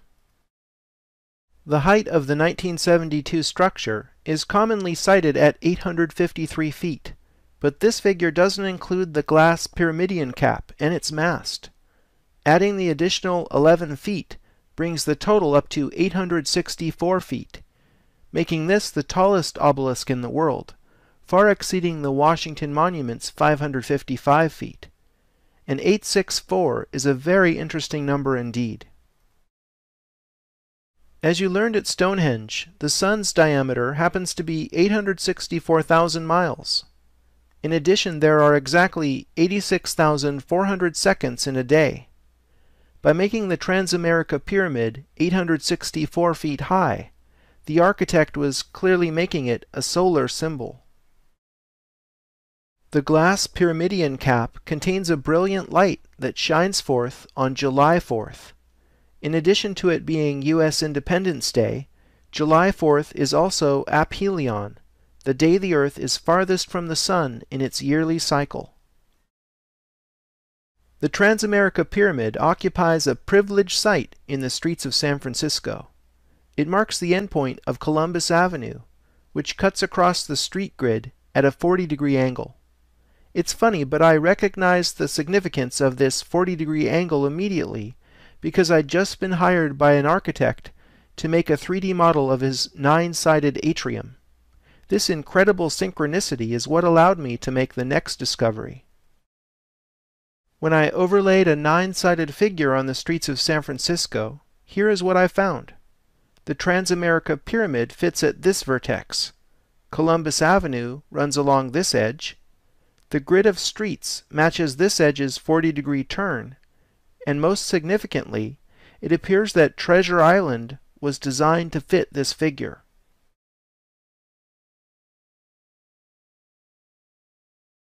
Treasure Island was completed in 1937 in time for the Golden Gate International Exposition.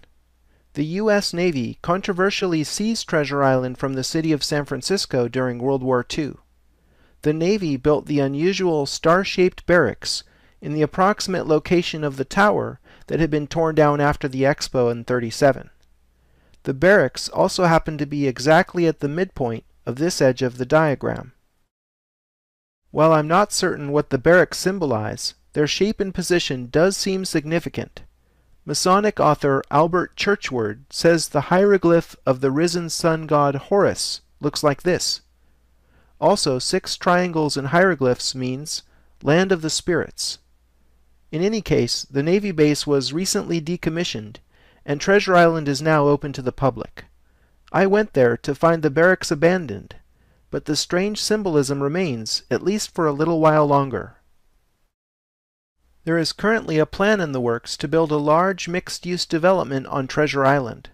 The plan, scheduled to be completed in 2022, calls for a 650-foot tall sun tower to be constructed where the star-shaped barracks are today.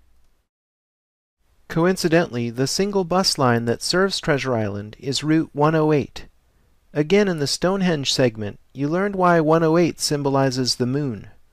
So in a few years you'll be able to ride the moon bus to the Sun Tower. In the Great Pyramid segment, we studied the Ennead, or pantheon of the nine ancient Egyptian gods worshipped at Heliopolis, the city of the sun.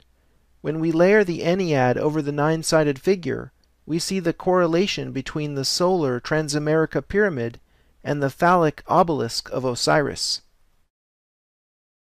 When I turned on the terrain layer in Google Earth, Telegraph Hill poked up through the Ennead layer, so I started researching Coit Tower. It was designed by Arthur Brown Jr. in 1933, after Brown designed three buildings in the Federal Triangle, which you'll remember figured prominently in the secret architecture of Washington, D.C. The octagonal top of Coit Tower fits within the octagram star, which you saw in Washington, D.C. Part 2, is a classic solar symbol. Do you think this is coincidental? There were four pairs of male and female gods in the oldest Egyptian creation myth, which predated the Ennead. The Ogdoad, as the eight gods were known, was venerated in Hermopolis, the city of Hermes.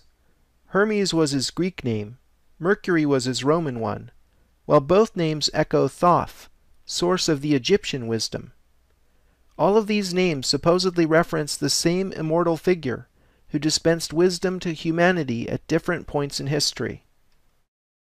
The subtle arcs along the sides of the structure suggest the interlocking circles of the Vesica Piscis, which represents the female genitals. Perhaps not surprisingly, and just like the Washington Monument, Coit Tower symbolizes the act of coitus, or the sacred union of Isis and Osiris. Hancock and Bauval have well documented in their book Talisman how Thoth's knowledge base was passed down through the Gnostics, Manichees, Bogomils, and Cathars. All were ruthlessly wiped out by the Catholic Church. Any remaining followers were then completely annihilated by the Inquisition. Thankfully, the popes weren't entirely successful in instituting a permanent Dark Age, because a century after the Inquisition, Cosimo de' Medici recovered the Corpus Hermetica, which was written in the first century in Alexandria. This older stream of Hermetic knowledge that escaped the burning of the Library of Alexandria actually fueled the Italian Renaissance, and then went underground in secret societies that persist to this day. The Golden Gate is neither golden, nor is it literally a gate. Instead, it's the red bridge built the same year as Treasure Island. Known throughout the world as an engineering marvel and symbol of San Francisco, it also represents the fulfillment of manifest destiny, the 19th century belief in the inexorable expansion of the United States from sea to shining sea. Here's a 19th century painting depicting the goddess Columbia leading settlers westward in an allegorical representation of manifest destiny. The Golden Gate is actually a concept from, you guessed it, ancient Egypt. Are you seeing the pattern here? They believed the Golden Gate was the threshold souls must pass after death on their way to the Duat. You might be interested they also spoke of a silver gate, guarded by Isis, the great mother of the sun. Souls passing through the silver gate on their journey from the divine source are incarnated upon the earth. I think Treasure Island represents the Silver Gate guarded by Isis. Its seven sides certainly have her number. Perhaps the gift of incarnation itself is the treasure. The soul journeys westward like the American settler and passes over Alcatraz, one of the world's most famous prisons. This fits with the Cathar belief that the body is the prison of the soul. All the while angels, this is Angel Island, fly above in a higher dimension. Angel Island is a state park and has incomparable views of the bay. The adjacent peninsula is the town of Belvedere, one of the highest income places in the United States. There may be a few angel investors in Belvedere who take in the incredible scenery and its symbolism. After doing time upon the earth, the soul passes through the Golden Gate to meet its destiny in the Duat. Now we're way out there. Let's fly back to Giza and get back down to Earth. The pyramids of Giza are said to be located in the middle of the Earth. Jim Allison is an independent researcher who's uncovered some mind-blowing geometry. Here he's taken the Vesica Piscis and laid it over the circle of the Earth. Giza is at this point, equidistant from the North Pole and the center of the Earth. Quite a central location when you see it this way. In one of the oldest surviving Hermetic fragments called the Kore Kosmou, or Virgin of the World, Isis has this to say to her son Horus. But the right holy land of our ancestors lies in the middle of the earth, and the middle of the human body is the sanctuary of the heart, and the heart is the headquarters of the soul, and that, my son, is the reason why men of this land are more wise. It could not be otherwise, seeing they are born and bred upon earth's heart. The heart of Egypt would have to be the Great Pyramid, and it embodies many more secrets. Let's investigate a few more. Here I've superimposed two instances of the same 3D model. When we draw a circle from the center of the pyramid in plan to the tip of the pyramid in elevation, something amazing happens. We square the circle. The circumference of the circle is equal to the perimeter of the square. This is a sacred diagram that encodes much wisdom. Mathematicians have proven this diagram can't be drawn perfectly because of the transcendental nature of pi. Approximations are all that is possible in flat Euclidean space. In the book The Dimensions of Paradise, John Michell has shown how the first Pythagorean triplet is the key to the wisdom encoded in this diagram. Here, 3, 4, 5 triangles set the scale and make it a very easy approximation for anyone to draw with compasses and a ruler. Now brace yourself for the wisdom. The moon and earth actually fit this diagram. The size of the moon compared to the earth is as 3 is to 11, with a 99.97% accuracy. The pyramid therefore encodes the relative sizes of moon and earth. The 345 triangle itself contains a secret that unlocks yet more of the mystery. The area of a 345 triangle is 6. 6 is one of very few perfect numbers in math, and is the only number in the infinite sea of numbers which is both the sum and product of the same three numbers. The number 6 is associated with the macrocosm, which is everything in the universe larger than the human scale. There's a simple mathematical realization that gets you from 6 to 720 that I'll skip over here. Pause the video if you love numbers. When you scale the original diagram by 720, here's what you get, the actual dimensions of the moon and earth in miles. The diagram says the Earth's diameter is 7,920 miles, and that's 99.97% accurate. The diagram says the moon's diameter is 2,160 miles, and that's 99.94% accurate. That's one precise approximation.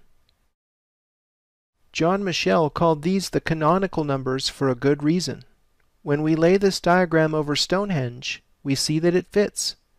The dimensions of Stonehenge match the canonical numbers, but with a shifted decimal place and in English feet rather than in miles. St. Mary's Chapel in Glastonbury is another structure Michell has found that fits the canonical numbers in English feet. According to the legend, St. Joseph of Arimathea left Jerusalem after the crucifixion and traveled to the Druid Isle of Avalon, where he built the first Christian church. This was later rebuilt as St. Mary's Chapel in the 12th century. Joseph of Arimathea is mentioned in all four Gospels, as the wealthy man who donated his own prepared tomb that became the Holy Sepulchre. Some say Joseph of Arimathea was Jesus' uncle because he acted like a family member in this regard. In any case, these are the walls that remain from St. Mary's Chapel, and here are its dimensions in English feet. The dimensions fit the canonical numbers, just like Stonehenge. The original chapel's ground plan resonates with a double Vesica Piscis like we saw in the analysis of the Great Seal of the United States. Thinking of the legend, I overlaid a 5 by 12 rectangle with X's inside that we'll see later in Jerusalem, and I discovered that it closely fits the double Vesica Piscis. Perhaps there is truth to the legend of St. Joseph of Arimathea after all. St. Mary's seems to bear the stamp of the Jerusalem rectangle. If shifting the decimal place in the canonical numbers doesn't matter, then there must be something special about the decimal system. Consider Pythagoras' motto, all is number. The most sacred symbol in the Pythagorean secret worship of number was the tetractys. The diagram consists of points arranged in four rows, with one, two, three, and four points in each successive row. The tetractys symbolizes the four elements, encodes pure musical intervals, is the seed for understanding the harmony of the cosmic spheres, and represents the structure of space itself. The sum of the points in the tetractys is 10.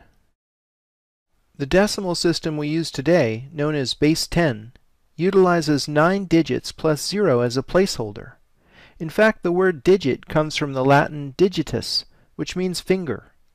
We naturally assume base 10 must have arisen from the practice of counting on fingers. Peter Plichta, who is both a physicist and a chemist, has shown in his book God's Secret Formula that there is much more to the decimal system beyond the physiology of our hands. Believe it or not, the decimal system hinges on the number 81. To understand this, bear with me for a moment and see how all the numbers in the decimal system are hiding under 81. Starting with the decimal point, line up all the numbers sequentially like this. The numbers beyond 9 are shown in parentheses because they are not yet in the decimal place system of single digits. Carrying each parenthesized digit into the decimal system yields a repeating decimal. This infinitely repeating number is equal to the reciprocal of 81. All the numbers really are hiding under 81. This is especially significant because there are exactly 81 stable elements in the universe, no more, no less. The periodic table of the elements lists the elements beyond 83 as subject to radioactive decay, but most are unaware of the fact that unstable elements 43 and 61 don't exist anywhere in the universe unless they are synthesized. Plichta was the first to make this connection and also points out that all 81 stable elements are categorized into 10 types of isotopes which is another reference to the decimal system. So Pythagoras was right. All is number, and the numbers are in base 10. Renna Shesso's book, Math for Mystics, points out some relevant spooky facts. Not only does the moon move through space 81 times faster than the Earth, but the moon has 181st the mass of Earth. Am I alone in thinking this is just too perfect? She also points out that the magic square of the moon is a 9 by 9 square having 81 numbers. Magic squares go back at least 2600 years to ancient China. I get the feeling all of this was known in the distant past. While kids count to 10 on their fingers, theoretical physicists talk about 10-dimensional superstrings, and Kabbalists talk about 10 sephiro on the tree of life. They are all recounting the decimal structure of the universe from different points of view. Traveling a short distance along the Nile, we come to Dashur, site of the lesser-known Red and Bent pyramids. Egyptologists claim these were contemporaneous with the Great Pyramid of Giza. I think the sacred geometry of both pyramids was correctly deciphered at world-mysteries.com. The pyramids at Dashur hold keys to macrocosm and microcosm. First of all, the red pyramid isn't as steep as the Great Pyramid. Its face proportions match this red triangle within a pentagram. Tilting up four such triangles until they meet defines the pyramid and its slope. The pentagram is a powerful magical talisman that was a symbol of the Pythagorean school. The pentagram encodes the golden number phi within itself fractally. Phi is one of the most important numbers in mathematics because nature uses it to proportion everything from pine cones to sunflowers and nautilus shells. Even our bodies are based on the golden section. The number 5 is associated with the microcosm, with life and in the growth of living things. The adjacent bent pyramid is the only pyramid with two slope angles. The lower slope is steeper than the Great Pyramid, and its face proportions match this blue triangle within a hexagon. Tilting up four such triangles until they meet defines the pyramid's lower slope. The upper slope matches the red pyramid, so it's red triangles within pentagons again here. So what's up with all the hexagons and pentagons? It has been said that the great enigma of alchemy is the mystery between macrocosm and microcosm. The word alchemy actually comes from al-chemy, which means the way of Egypt. I believe relating 6 to 5 is the essential key encoded at Dashur. Renaissance master Albrecht Dürer made this drawing in his course in the art of measurement with compasses and a ruler. Everything emerges from the Vesica Piscis. Dürer's Melancholia I is one of the most studied pieces of esoteric art. Franz Deckwitz presented the following analysis in 1979 to John Michell, who published it in his 1988 book, The Dimensions of Paradise. The opening of the compasses is the key to the engraving's metrology. The compasses, sphere, measuring stick, and overall proportions all fit the same unit. As already mentioned, the engraving's proportions of 14 to 11 match the Great Pyramid's half-triangle proportion. The objects in the engraving are packed with Hermetic symbolism, but the most interesting thing to me is the hidden controlling geometry. It's the alchemical wedding of pentagon and hexagon. Schwaller de Lubicz did this study of an Egyptian gateway. Notice the proportions of sixes and fives in the opening, and the octave height of 2 compared to the overall width of a fundamental 1. Henry Lincoln co-wrote Holy Blood, Holy Grail, which became an inspiration for Dan Brown's The Da Vinci Code, published more than 20 years later. In The Holy Place, Lincoln revealed what he calls a structured landscape in the former Cathar country surrounding the mysterious village of Rennes-le-Château. Again we see the marriage of 6 and 5. The pentagram over the cube in DC is another representation of 6 and 5 coming together. Recall how triple sixes and fives are encoded in the Washington Monument as 6,660 inches equals 555 feet. America's monumental obelisk therefore expresses the relationship between macrocosm and microcosm. Moving to a larger scale, the Earth encodes 6 to 5 in temporal and spatial terms. The Earth's precessional cycle measured in years, divided by the Earth's equatorial circumference measured in nautical miles, is precisely equal to 6 divided by 5. Alex B. Geddes discovered relationships in the solar system that express the macrocosm's relationship to the microcosm. These are published in John Martineau's superb Little Book of Coincidence. The relationships Geddes found are ratios between the products of mean orbital radii of planets in our solar system.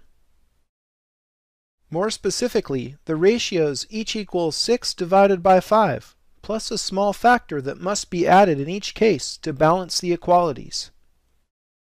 Each product is a symmetrical relationship between inner rocky planets and outer gas giants. I notice that each one of the factors added to balance the equalities encodes 864, the same number you learned in the Stonehenge and San Francisco episodes is the number of the sun. How incredibly apropos! In mathematics, phi and pi are two of the most important numbers. They can be related in the following way. 6 divided by 5 times phi squared equals pi. This equation is an extremely accurate approximation, but is not exact, and as such is classified by mathematicians as a coincidence. Are all of these things just pure coincidence or evidence of hyperdimensional resonance? For a more complete answer to that, you'll have to wait for the Paris episodes. For the next astonishing example of sixes over fives, we'll visit the holy city of Jerusalem.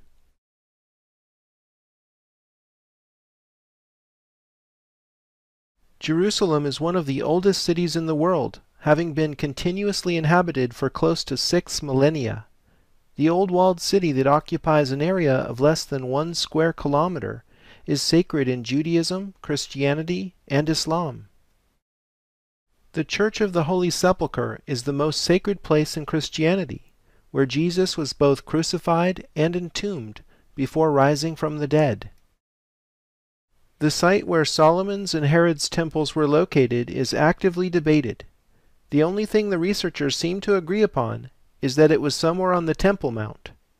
Locating the temple precisely is a priority for Jews, because the rock of foundation within the temple's Holy of Holies is the most sacred place in Judaism.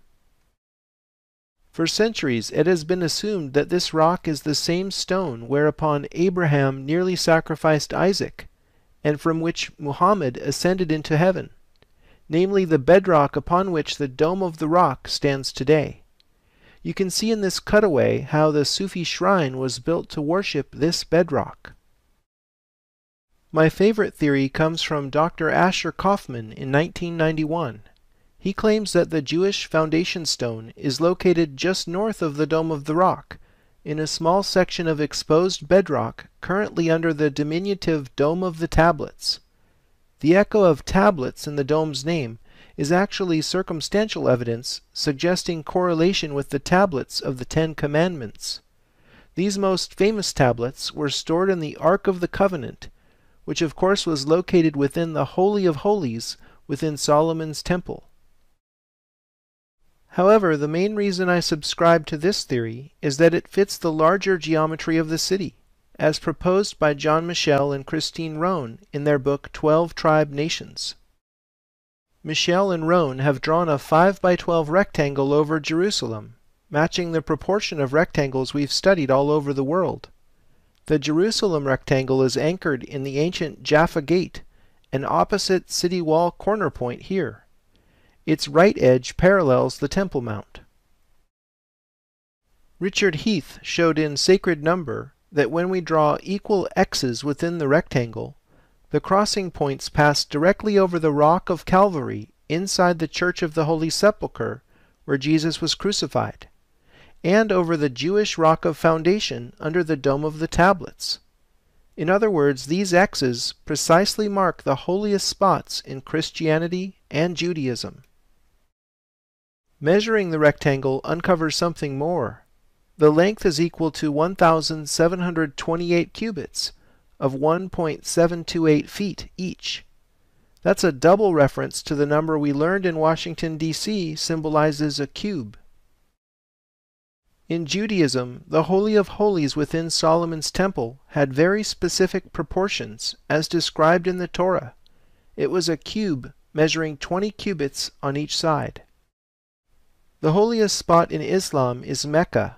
More specifically, it is the Kaaba within Mecca, which all Muslims are supposed to visit at least once in their lives. Kaaba means cube. Indeed, the object of their veneration is a giant black cube.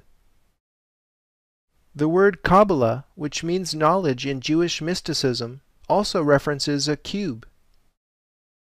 In Greek mythology, Apollo and Artemis were born on the small island of Delos. As the story goes, the citizens of Delos consulted the oracle at Delphi to learn how to defeat a plague sent by Apollo. The oracle responded that they must double the volume of their cubic altar to Apollo. This rather difficult problem involving the cube root of 2 was known as the Delian problem in mathematics, which was later solved by the Pythagorean philosopher Archytas. Why are so many of the most important places symbolized by cubes? Recall that the cubit that measures Jerusalem is 1.728 English feet exactly. 1.728 is equal to 6 over 5 raised to the third power. I suggest you do the math to verify this is so. Come to think of it, the word cubit clearly comes from the word cube. So Jerusalem is symbolized by the volume of a cube whose edge length relates macrocosm to microcosm. If you dimension the Jerusalem rectangle in this way, with two depictions of 6 and 5, you'll see the x's themselves as representations of the great enigma of alchemy, namely the relationship between 6 and 5. Perhaps not surprisingly, the cubit that measures 1.728 English feet is actually the canonical Egyptian cubit. Author Ahmed Osman puts forward the controversial but never refuted theory that Moses was actually the Egyptian pharaoh Akhenaten. Both were powerful monotheists who were educated in Egypt. It's certainly a theory worth contemplating. Many of the most significant events in Jesus' life are lined up along an axis. First of all, Jesus spent time teaching his disciples on the Mount of Olives. Jesus rode into Jerusalem on Palm Sunday through this oldest of gates in Jerusalem's city walls, called the Golden Gate in Christian tradition. I can't help but think of the bridge in San Francisco. Here's Giotto's depiction of Mary's parents, Joachim and Anne, meeting at the Golden Gate.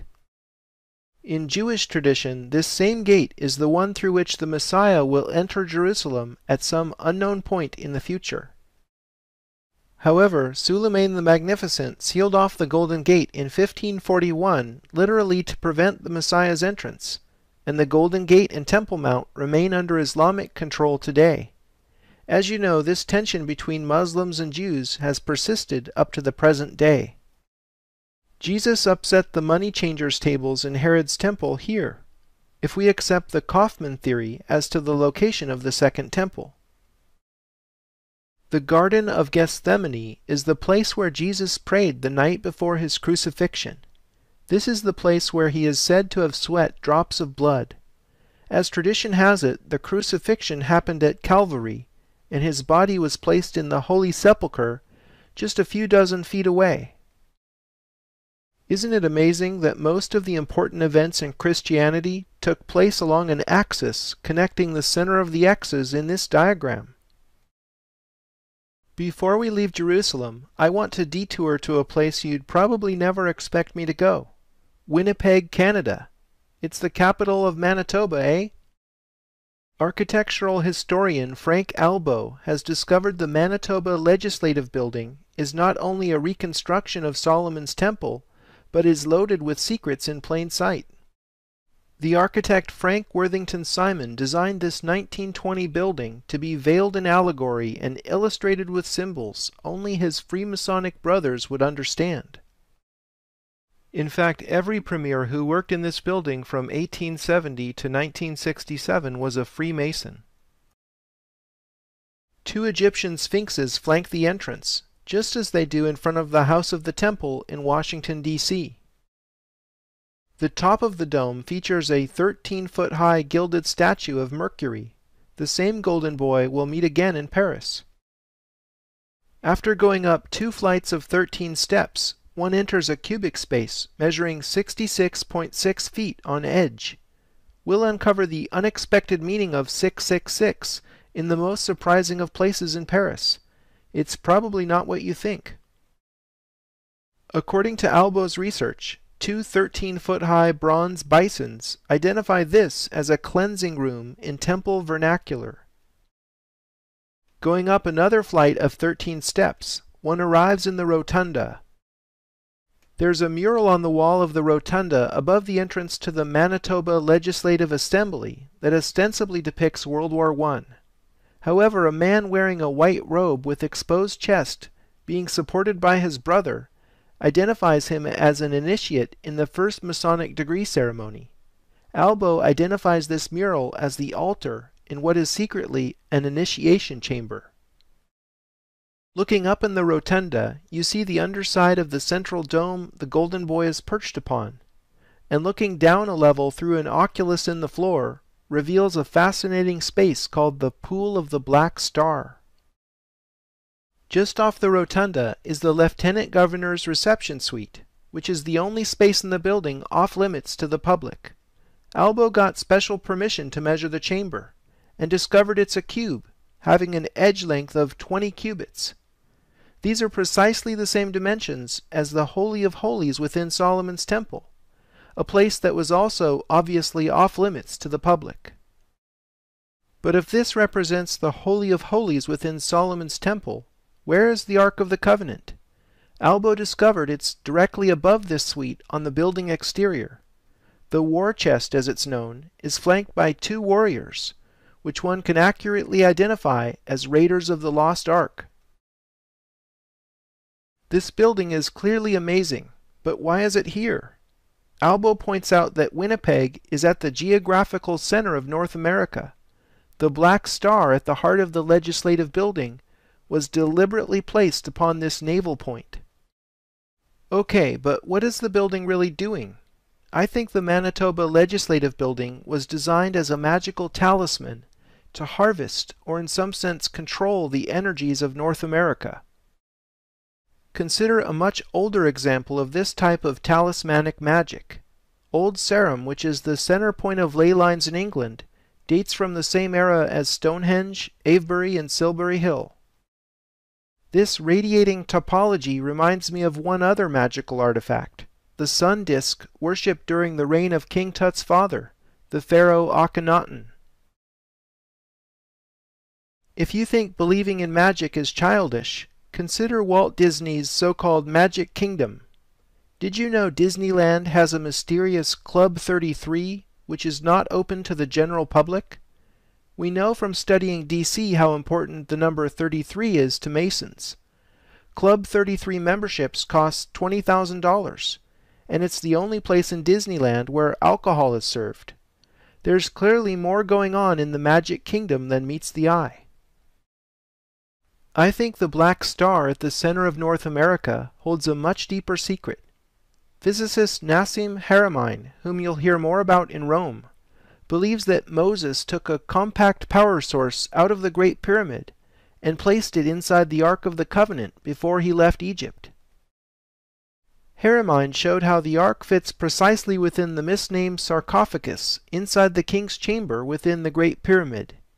It was misnamed because no mummy has ever been found in an Egyptian pyramid. By the way, the granite box's exterior volume is exactly double its interior volume, a mathematical relationship echoed thousands of years later in the Delian problem that plagued the Greeks. Considering the evidence, I think the ark was an Egyptian artifact before it became the most sacred object in Judaism. In any case, Haramein believes the power source inside the ark was a mini black hole. During their exodus from Egypt, the Bible says the Israelites followed a pillar of cloud by day and a pillar of fire by night. Haramein claims the mini black hole stored in the ark would have produced just such a fiery vortex, rising like a pillar. Haramein's physics show that stars are really black holes under a mantle of trapped matter. Sunspots are black because they literally are vortices in the mantle that expose the black hole inside the sun. The pool of the black star reveals this great cosmic secret to those who can decode the secrets in plain sight. Perhaps there is nowhere else in the world with more layers of history and symbolism than Jerusalem. I can think of no better example of this than in the Church of the Holy Sepulchre. Its architecture is a patchwork made from so many untold layers. Calvary Chapel is built on the first foot or so of the rock upon which Jesus is said to have been crucified. Excavation that took place in 1973 revealed a chapel some 15 feet under this rock, called the Tomb of Adam, where the first human skull is said to be visible in the rock face. In fact, the term Calvary comes from the Latin calvariae locus, which is Golgotha in Greek, or place of the skull in English. Prior to the first Christian emperor Constantine the Great repurposing this site as the Church of the Holy Sepulchre, it had been a temple of Venus, before the Romans worshipped Venus, she was known in the Greek world as Aphrodite. And if we dig deeply enough, we find yet another layer on top of the Egyptian Isis. The notion of Christianity layering Egyptianism is nothing new. Here is Albrecht Dürer's Renaissance depiction of the Man of Sorrows by the column. Note Christ's unmistakable Egyptian crook and flail posture. This is Dürer's secret depiction of Christ as Osiris, the resurrected God. Dürer then shows Christ being flagellated with said symbols in this later etching. Here is Osiris with his characteristic crook and flail in the Egyptian Book of the Dead. Osiris as Lord of the Dead presides over the weighing of souls ceremony. Anubis measures the dead man's heart on the scale against Maat's feather of truth. Her husband Thoth, scribe of the gods, records the result. If the heart is lighter than the feather, Horus will present the man's soul to Osiris in the duat. but if not, it will be devoured by the deadly Ammit, the monster who was part crocodile, lion, and hippopotamus. Maat is currently personified as Lady Justice, holding scales and sword. Lady Justice adorns courthouses around the world. Here she is in the old Supreme Court chamber in the U.S. Capitol. The scales of justice were also used in Christianity in the Last Judgment. Here are 15th century depictions showing souls being weighed and judged. The beasts of hell certainly recall the terror inspired by Ammit. Spell 125 in the Egyptian Book of the Dead lists what later became the Ten Commandments in Judeo Christian theology. Everything goes back to Egypt. If you ask someone off the street where the holiest spot in Christianity is, you probably won't hear the Church of the Holy Sepulchre in Jerusalem. Most will think of St. Peter's Basilica in Rome. The word Peter literally means rock, and when Jesus said, Upon this rock I will build my church, Simon became Peter. Thinking on all the rocks I'd been studying in Jerusalem, it was natural for me to draw a line from the rock of Golgotha to the tomb of St. Peter in Rome. Here we go again.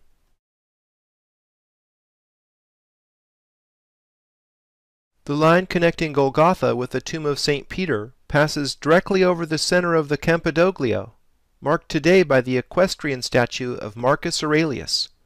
What we see in the Campidoglio is Michelangelo's vision for the top of the Capitoline Hill, the ancient world's original capital.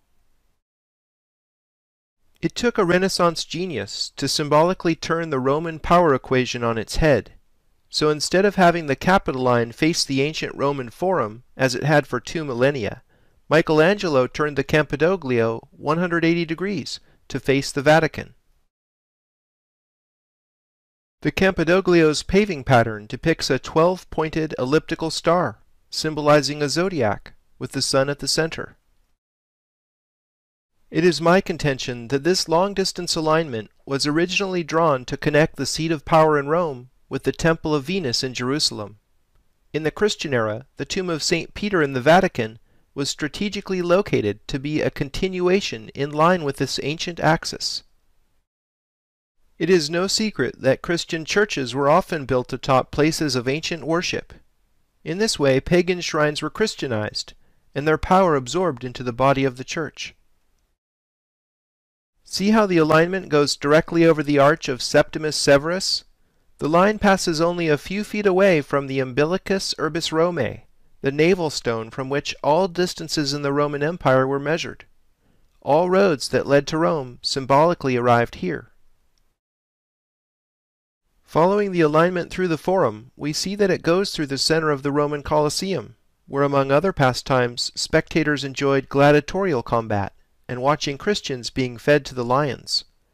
This shape in the center of the Colosseum bowl suggests the Vesica Piscis. Could this be a symbol of Venus? If so, what went on in the Colosseum somehow became the opposition of the love and beauty associated with Venus. The last stop on our alignment tour is the largest ancient Egyptian obelisk in the world, including all of those still standing in Egypt. The alignment from Jerusalem passes directly over the tip of this 230-ton symbol in front of the Lateran.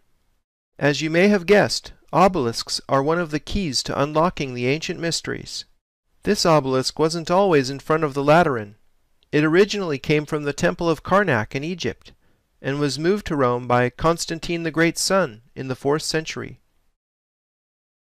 The last of the Renaissance popes, Sixtus V, moved the obelisk from where it had been in the Circus Maximus to the Lateran, displacing the equestrian statue of Marcus Aurelius, which as you know was moved to the Campidoglio. Now Sixtus V was a very singular pope. As is the custom when a pope dies, the new pope chooses a name for himself. I find it fascinating that Felice Peretti di Montalto chose a name referencing both 6 and 5 in Sixtus V. The fact is, Sixtus V redesigned much of Rome during his brief five-year reign. He considered moving the Church of the Holy Sepulchre in Jerusalem to Rome, but the logistics proved to be too much. He did, however, succeed at moving four gigantic Egyptian obelisks within Rome, completing the Dome of St. Peter's, opening six streets, building 14 fountains, and much more. Roman emperors were the first to raid Egypt in antiquity for its obelisks. By repositioning these obelisks in Renaissance Rome, Sixtus V was motivated by something other than Catholicism. Researchers Jan Wicherink and Aaron Parlier reveal much of what Sixtus V was up to. The red line shows a pair of obelisks aligned to the summer solstice sunrise. The blue line shows another pair of obelisks aligned to the winter solstice sunrise. Sixtus V placed Egyptian obelisks in St. Peter's Square and in the Piazza del Popolo exactly as they are to create the red astronomical alignment. He engaged in a bit of urban renewal by opening a straight street connecting the ancient Roman obelisks at the top of the Spanish Steps and in front of Santa Maria Maggiore to make the blue astronomical alignment visible. Balancing the masculine symbol of the obelisk, Sixtus V restored an ancient aqueduct and built fountains symbolizing the feminine to accompany most obelisks. Four fountains mark the crossing of the blue and yellow lines connecting the Fontana dei Dioscuri and the Aqua Felice, all watery creations of Sixtus V.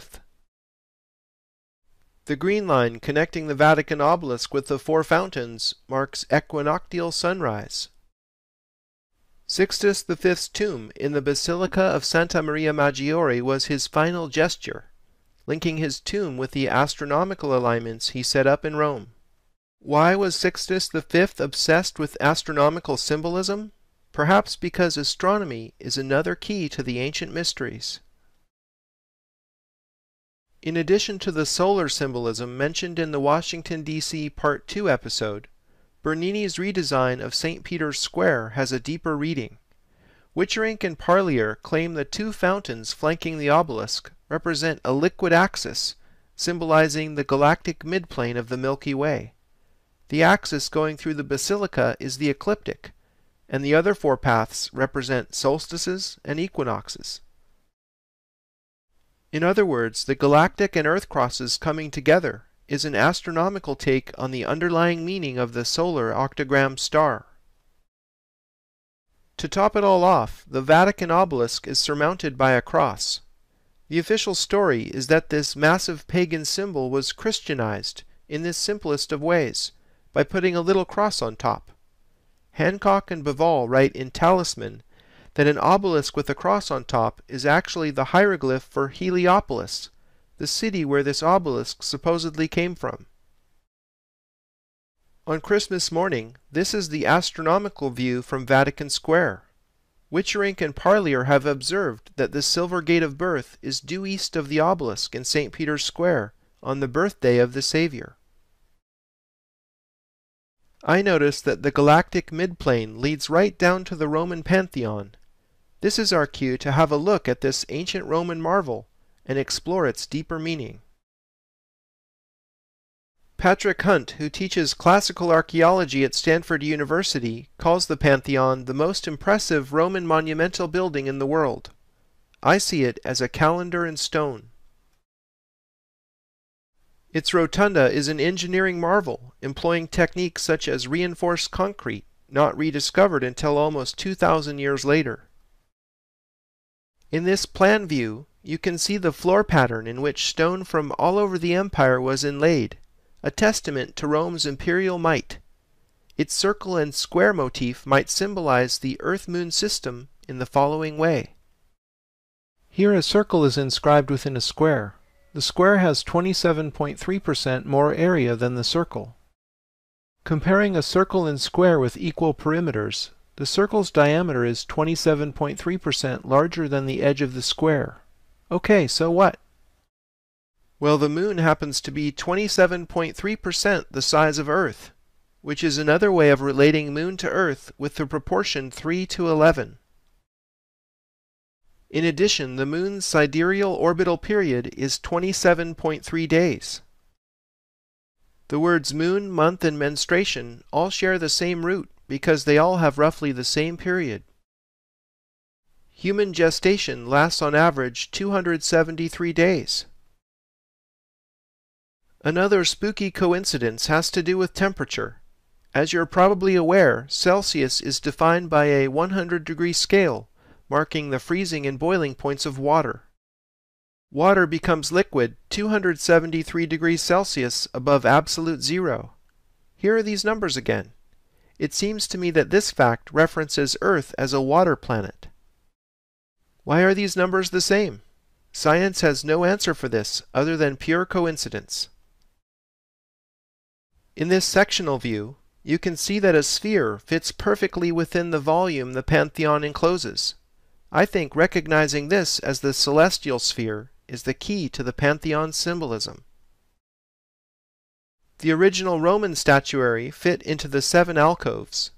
The pantheon of pagan gods was replaced with Christian saints when the building was christened the Church of Santa Maria Rotunda in the year 609 exchanging pagan gods for astrological symbols, we see an arrangement matching the Ptolemaic harmony of the spheres. To the modern eye, this sequence might seem arbitrary, but it actually ranks the planets in order of increasing apparent speed against the background of fixed stars as seen from Earth. Ptolemaic cosmology is therefore an Earth-centric approach to astronomy. Mark Booth writes in The Secret History of the World, Ptolemy's map of the spheres is conventionally presented as having been superseded by the ideas of Copernicus, Galileo, and so on, but in fact was and is an accurate map of the spiritual dimension of the cosmos, a dimension which seemed more real to the ancients than the material cosmos. Are you aware that the days of the week are named after the planets? With the exception of Saturn Day, Sun Day, and Moon Day, English speakers unfamiliar with Norse gods might have an easier time spotting this connection in French or Italian. Connecting the days of the week in order yields a seven-pointed star, somewhat distorted to accommodate squeezing it into the octagonal symmetry of the pantheon. Looking up in the rotunda, you see the oculus, or central void in the dome. The oculus is the sole source of illumination in the interior so it clearly symbolizes the sun. The five rising tiers of coffers might represent the five planets visible with the naked eye from Earth. The 28 divisions around the circumference is where things really get interesting. It is my contention that the 28 rays represent days. Consider a month of four seven day weeks lasting 28 days. 13 such months add up to 364 days. The extra day needed to round out a 365 day year is where we get the phrase, a year in a day. Richard Heath has traced this 13 month plus one day calendar to the matriarchal societies of the Bronze Age. The Egyptian Sothic year lasted exactly 365 days, without compensating for leap year as we do today. Sothis is the Greek name for Sirius, the star the Egyptians based their new year on. Any way that Father Time slices it, the 28 day division fits the Osiris story. The Temple of Isis on the island of Philae has bas reliefs which tell the Osiris story. Here Osiris has 28 stalks of wheat emerging from his dead body. The 13 pieces that Isis later reassembled symbolize the 13 month calendar of 28 day months and his missing phallus represents the extra day, rounding out the Sothic year. Many religious stories encrypt astronomical information in their core levels. Returning to Egypt for more wisdom, let's take a look at the Earth-Moon diagram that came from studying the Great Pyramid. Recall how the relative sizes of Moon and Earth fit the diagram when the circle was squared. John Michell rediscovered the key to much more ancient wisdom still encrypted in this diagram in his book The Dimensions of Paradise. Michell expanded the number of spheres in the diagram from 1 to 12 for reasons that will soon become apparent. If the mean diameter of the moon is 2,160 miles, then the 12 moon evolution in the diagram encodes the great year. 2,160 times 12 equals 25,920, which is Earth's precessional period. Each month in this so-called great year is likened to an age in astrology. We are currently leaving the age of Pisces, and it's the dawning of the age of Aquarius. John Michell calls this the New Jerusalem diagram from his analysis of the revelation of St. John. A seven-pointed star resonates within. Remember the seven-rayed diadem of Isis and the seven rays of the Statue of Liberty? I prefer to call this the Isis diagram, in reference to the older stream of knowledge coming out of Egypt. The Isis diagram encodes just intonation in music. On the most basic level, consider one octave of a piano keyboard. A total of 12 notes are divided by sharps, leaving seven white keys. The term sharp suggests the pointy heptagram, doesn't it? As we'll soon see at Chartres Cathedral, music, along with astronomy, geometry, and number theory, are all keys to this ancient mystery. Expanding the Isis diagram to contain four seven-pointed stars, we have what I call the Osiris diagram, which encodes the Sothic year of 365 days in the following way. The 28 tips of the stars represent days in the ancient month. Twelve circles surround a thirteenth, located at the center of the stars. The circles represent months. Thirteen months of 28 days each defines the year. The earth circle underlying the stars represents the extra day and completion of the Sothic year. And the Sothic year was itself calibrated by the heliacal rising of the star of Isis, consort to Osiris. It's beautiful the way the geometry matches the cosmology. The architecture of the universe is embedded in Egyptian cosmology. To perceive the larger ramifications of the cosmology we are rediscovering, let's break away from 2D diagrams and explore where we live, the third dimension. It's a 3D reality that 12 spheres fit perfectly around a central 13th, with all of them tangent to each other, while the 13 fit perfectly within an overarching sphere. I think this 3D reality is the source of the obsession with the number 13 that we've seen symbolized in so many places. Recall all the lucky 13s on the Great Seal of the United States. Lucky 13 might be more precisely described as 12 surrounding 1. In the Last Supper, Da Vinci depicts Jesus in the center, surrounded by 12 apostles. Geometrically speaking, connecting the centers of the 12 surrounding spheres with straight lines reveals what is called the cube octahedron. The cube octahedron has faces composed of squares and triangles, ad quadratum et ad triangulum, as they would say in the Middle Ages. As it turns out, cube octahedral sphere packing has exactly seven planes of symmetry. Do these numbers sound familiar? 12 around 1 with 7 planes of symmetry, the cube octahedron is the 3D equivalent of the Isis diagram. The first ever known depiction of a cube octahedron was drawn by Leonardo da Vinci. He created this illustration for Luca Pacioli's book, De Divina Proportione. Pacioli and da Vinci worked together, became close friends, and later shared a house together in Florence. Pacioli was at the center of the Renaissance Hermetic obsession, begun by Cosimo de' Medici in 1430 when he obtained the Corpus Hermetica, a body of work compiled in the first few centuries of the Common Era, recounting words passed down by Thoth through the last of the Egyptian priesthood in Alexandria. Here is Pacioli with a mysterious transparent cube octahedron half filled with water. Some believe the younger man standing next to him is Albrecht Dürer. In Divine Proportion, Priya Hemenway writes, In the autumn of 1506, Albrecht Dürer rode from Venice to Bologna to the home of Luca Pacioli in order to be initiated in the mysteries of a secret perspective. Clearly the cube octahedron was important to these Renaissance masters immersed in Hermetic knowledge. Perhaps they knew something we don't.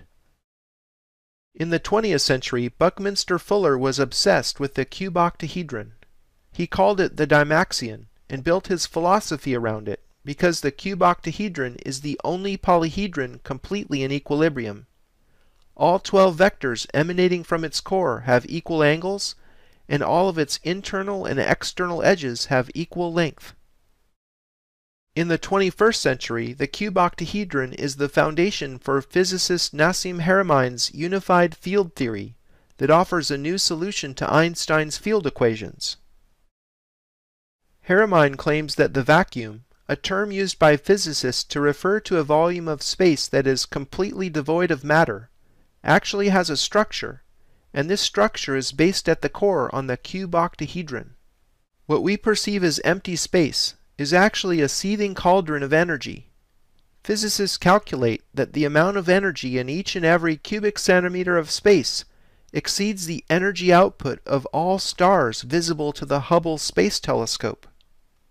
The reason space seems empty is because all that energy is perfectly balanced in a state of equilibrium. It looks to us like nothing is there. Haramein has built his entire unified theory of physics on cube-octahedral geometry. I believe Haramein is really onto something. His latest paper, the Schwarzschild proton, received the Best Paper Award in a physics symposium in 2009. Modern physics seems to be catching up with ancient knowledge. To understand astronomy, one needs to have some background. Here's my crash course on esoteric astronomy in six quick lessons. The Earth revolves about the Sun in a plane called the ecliptic.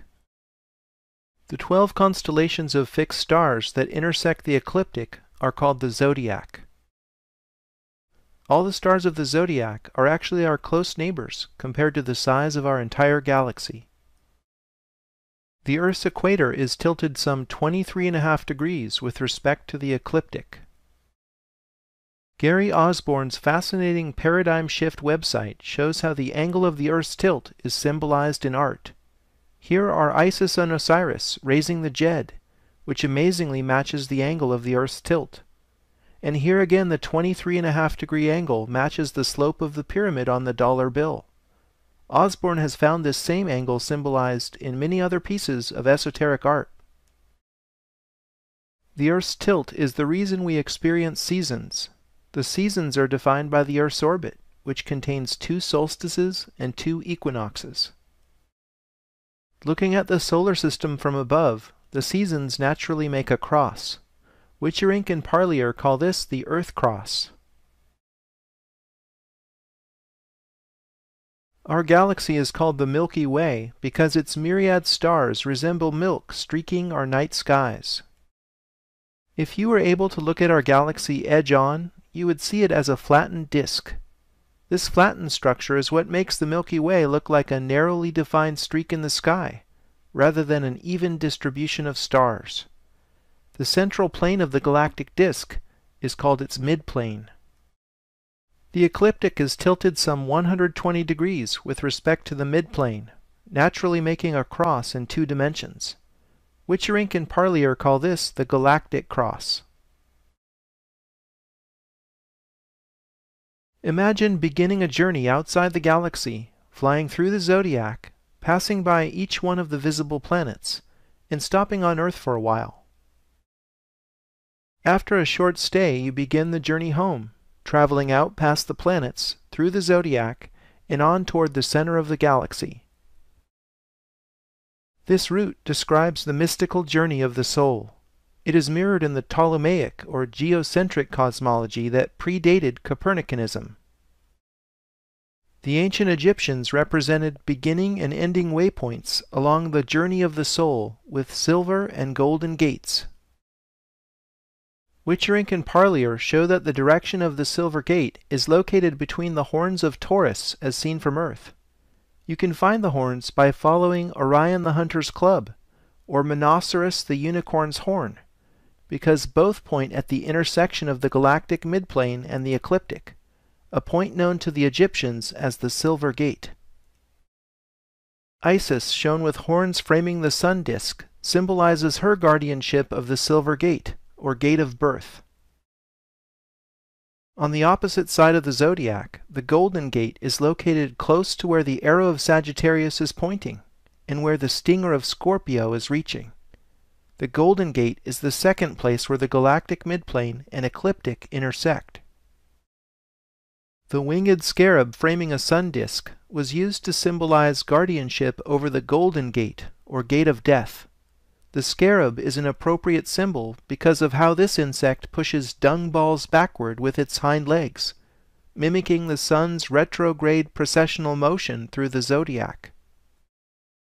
The coat of arms for the state of Vatican City features silver and gold keys, because these are the keys to the kingdom that Christ gave to Peter. Pietro Perugino's fresco in the Sistine Chapel shows Christ giving one silver and one gold key to Peter. I see the two Roman arches flanking the fresco as secretly depicting the Egyptian silver and golden gates. The octagonal domed building in the center clearly represents the sun, and the perspective grid must be the ecliptic. The people in the piazza are taking the journey of the soul. I was taught as a child to follow the outer edge of the Big Dipper to find the North Star Polaris. In the past, this rule of thumb didn't always work, because the celestial pole changes over time due to the Earth's precession. When the Great Pyramid was built, the star Thuban in the constellation Draco was the North Star. Remember, one of the pyramid shafts point at Thuban. The celestial pole actually traces out a circle in the heavens, representing the 25,920 year precessional cycle. This cycle is called the Great Year. In 3D, the Great Year is seen as a precessional cone swept out over time by the Earth's tilted axis. The Earth's precessional cone, the Sun, and the galactic midplane will precisely align on winter solstice 2012. Author John Major Jenkins calls this phenomenon galactic alignment. The Mayan long count calendar was designed to end on winter solstice, December 21, 2012. Acharya S. says in The Christ Conspiracy, many of the world's crucified godmen had their traditional birthdays on December 25th. This date is set because the ancients recognized that the sun makes an annual descent southward until after midnight of December 21st, the winter solstice, when it stops moving southerly for three days and was born again after midnight of December 24th. Thus, these many different cultures celebrated with great joy the Son of God's birthday on December 25th.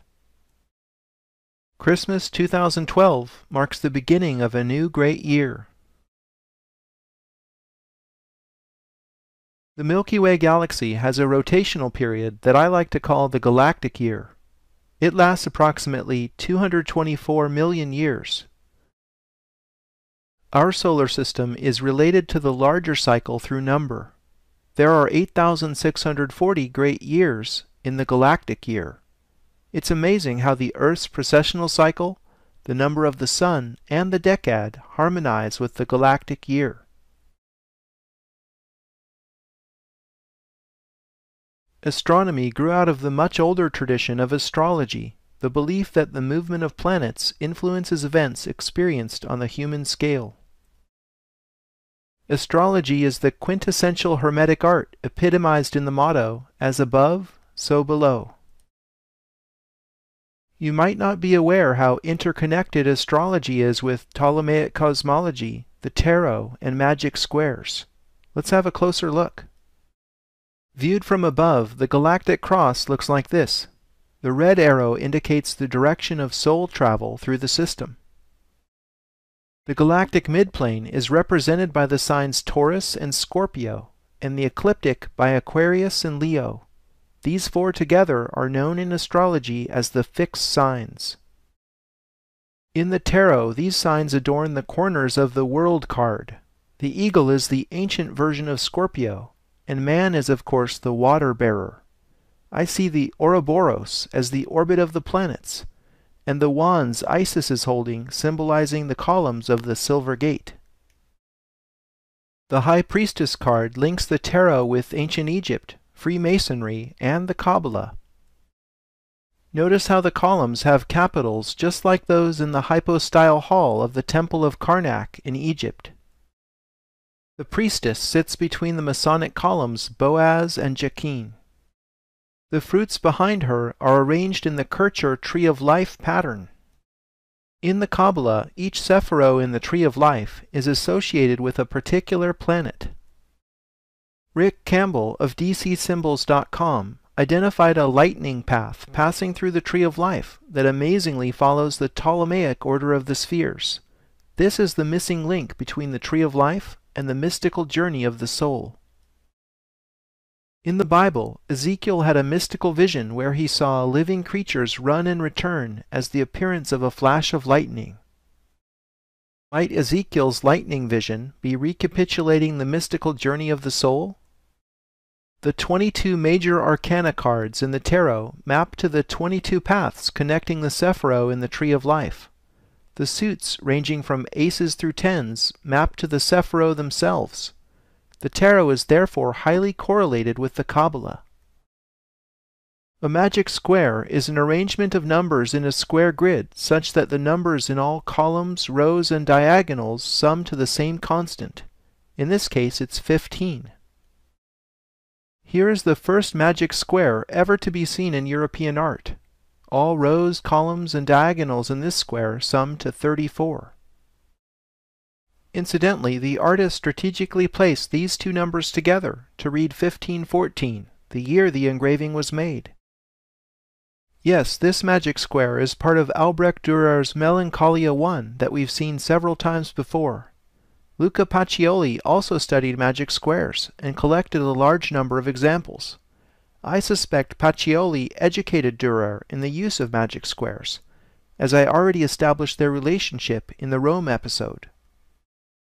A contemporary of Pacioli and Dürer, Heinrich Cornelius Agrippa, wrote De Occulta Philosophia, which drew on all the important Hermetic books brought to light by Cosimo de' Medici that you learned about in the San Francisco episode.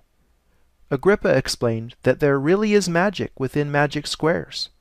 Sigils can be encrypted within magic squares to call upon angels and demons. Agrippa associated magic squares of order 3 to 9 with specific planets. Why the Sun was associated with the 6 by 6 magic square is simple. The Sun is the sixth planet in Ptolemaic order.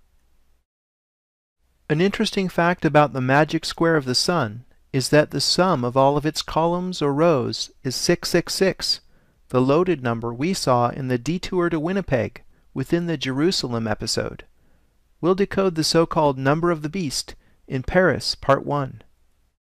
Before the Italian Renaissance, there was an earlier flowering of ancient knowledge in medieval France. This was initiated when nine self-described poor knights of Christ returned from a decade of excavation work undertaken in the Temple Mount of Jerusalem. The most famous preacher of the age, Saint Bernard de Clairvaux, argued persuasively on their behalf at the Council of Troyes in 1129. This resulted in the Templar order being officially chartered and endorsed by the Catholic Church. The poor Templars instantly became a favored charity, and it certainly didn't hurt when the Pope signed an order saying they didn't have to pay any taxes, could pass freely through international borders, and were exempt from all legal authorities save for his own. This also tells you something about just how powerful the papacy was in those days. The Templars accepted large donations and monetary deposits, started issuing letters of credit, opened banks in several countries, and essentially became the first multinational corporation.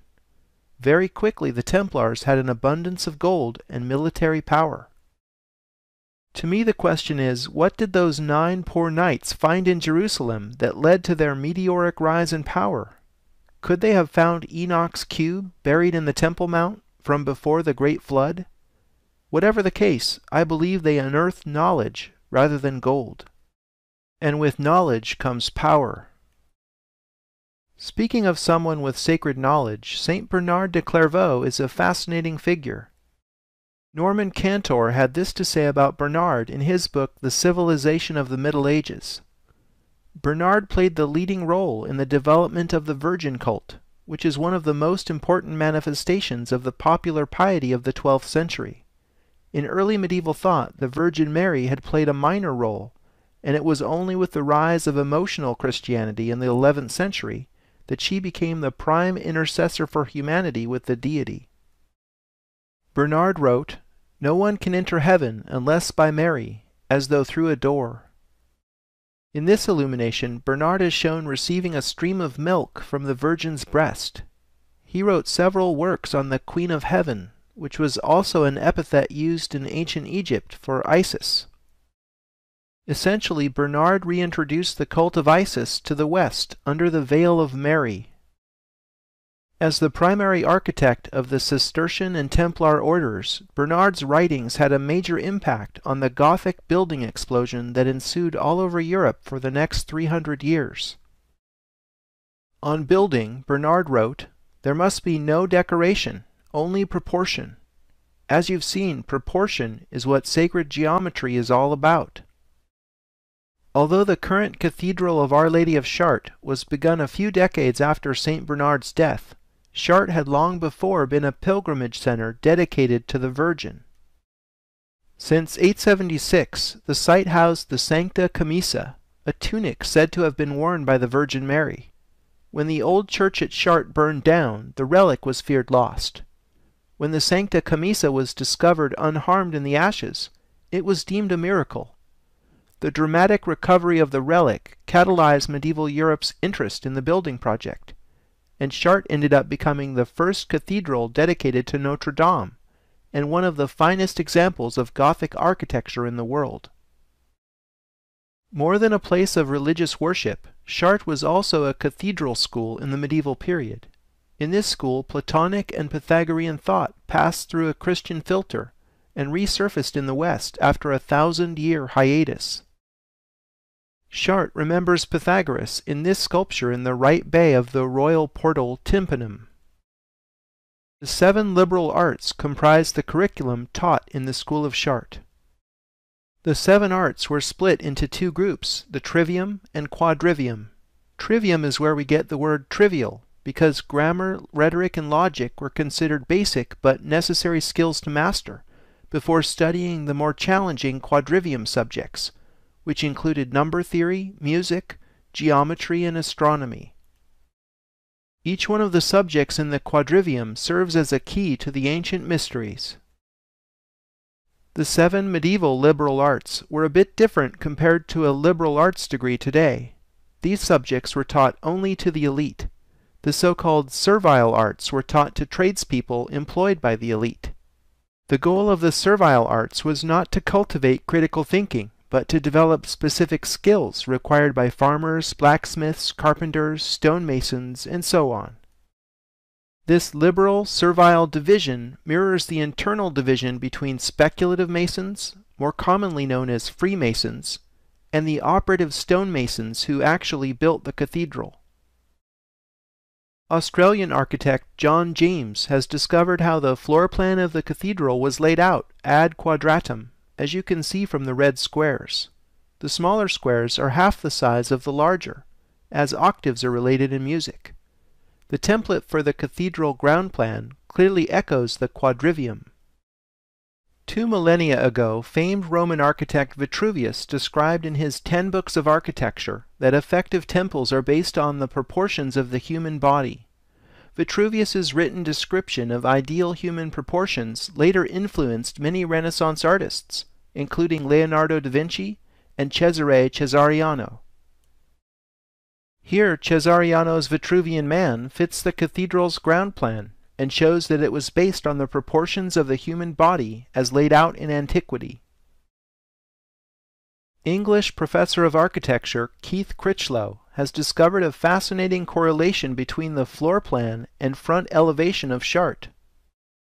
Intrigued by the fact that the rose windows containing the exquisite stained glass and the themed labyrinth have equal diameters, Critchlow compared the plan to the elevation. The rose window and the labyrinth line up perfectly, like so. The golden ball atop the sun tower aligns with the curve of the apse here. The moon tower's silver ball corresponds to the rond point, the center from which the chapels radiate. Clearly the design is correlated in two separate dimensions. Boaz and Jachin are the names of the two columns that stood at the entry to Solomon's temple that are echoed in all Masonic temples today. Boaz stood on the left, and the name Boaz means sun. Jachin stood on the right and means moon. This symbolism matches the towers at Chartres. Critchlow explains that the sun tower is 365 English feet in height. The moon tower is slightly shorter, some 28 feet less. These measurements suggest several things. Number one, the design was based on the English foot. Number two, the 365 foot sun tower symbolizes the year. And number three, the 28 foot difference in the moon tower symbolizes the 28 day month of four seven day weeks. I think this metrology shows how Chartres is a calendar in stone, very much like the Roman Pantheon. Before the Christian era, the grotto below Chartres was a druidic shrine of Isis. Above the crypt today there is a black Madonna and child called Our Lady of the Pillar, that many suspect has a meaning older than Christianity. The Druid grotto housed a sacred dolmen that was identified with the womb of the earth. Think about it. Both Isis and Mary were called Queen of Heaven, identified as so-called virgins who had unusual conceptions, and later had sons who symbolized the sun, who also shared the same birthday. The story of Mary and Jesus is a recapitulation of the ancient Egyptian story of Isis and Horus. The Black Madonna hints at her African origins while retaining just enough plausible deniability to avert uncomfortable questions for the Church. Chartres Cathedral's axis is oriented to the summer solstice sunrise, just like the red alignment Sixtus V set up in Vatican Square. The labyrinth is not a maze, because there is only one path to follow, like the life we live from birth to death. The labyrinth's eleven concentric rings match the Ptolemaic cosmology, or spiritual dimension of the cosmos. Walking the labyrinth is therefore like taking the journey of the soul. There are 112 cogs on the outside of the labyrinth, a fact which has puzzled scholars. In them, John James has discovered an unexpected connection to the Arab world.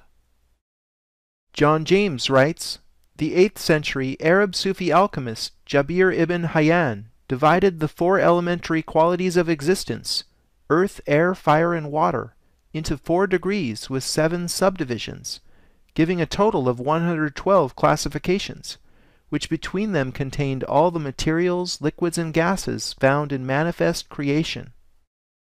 Known in the West as Geber, and considered to be the father of chemistry, he worked in the court of Caliph Harun al-Rashid, for whom he wrote the Book of Venus on the art of alchemy. His work paved the way for later Islamic and European alchemists in their search for the philosopher's stone.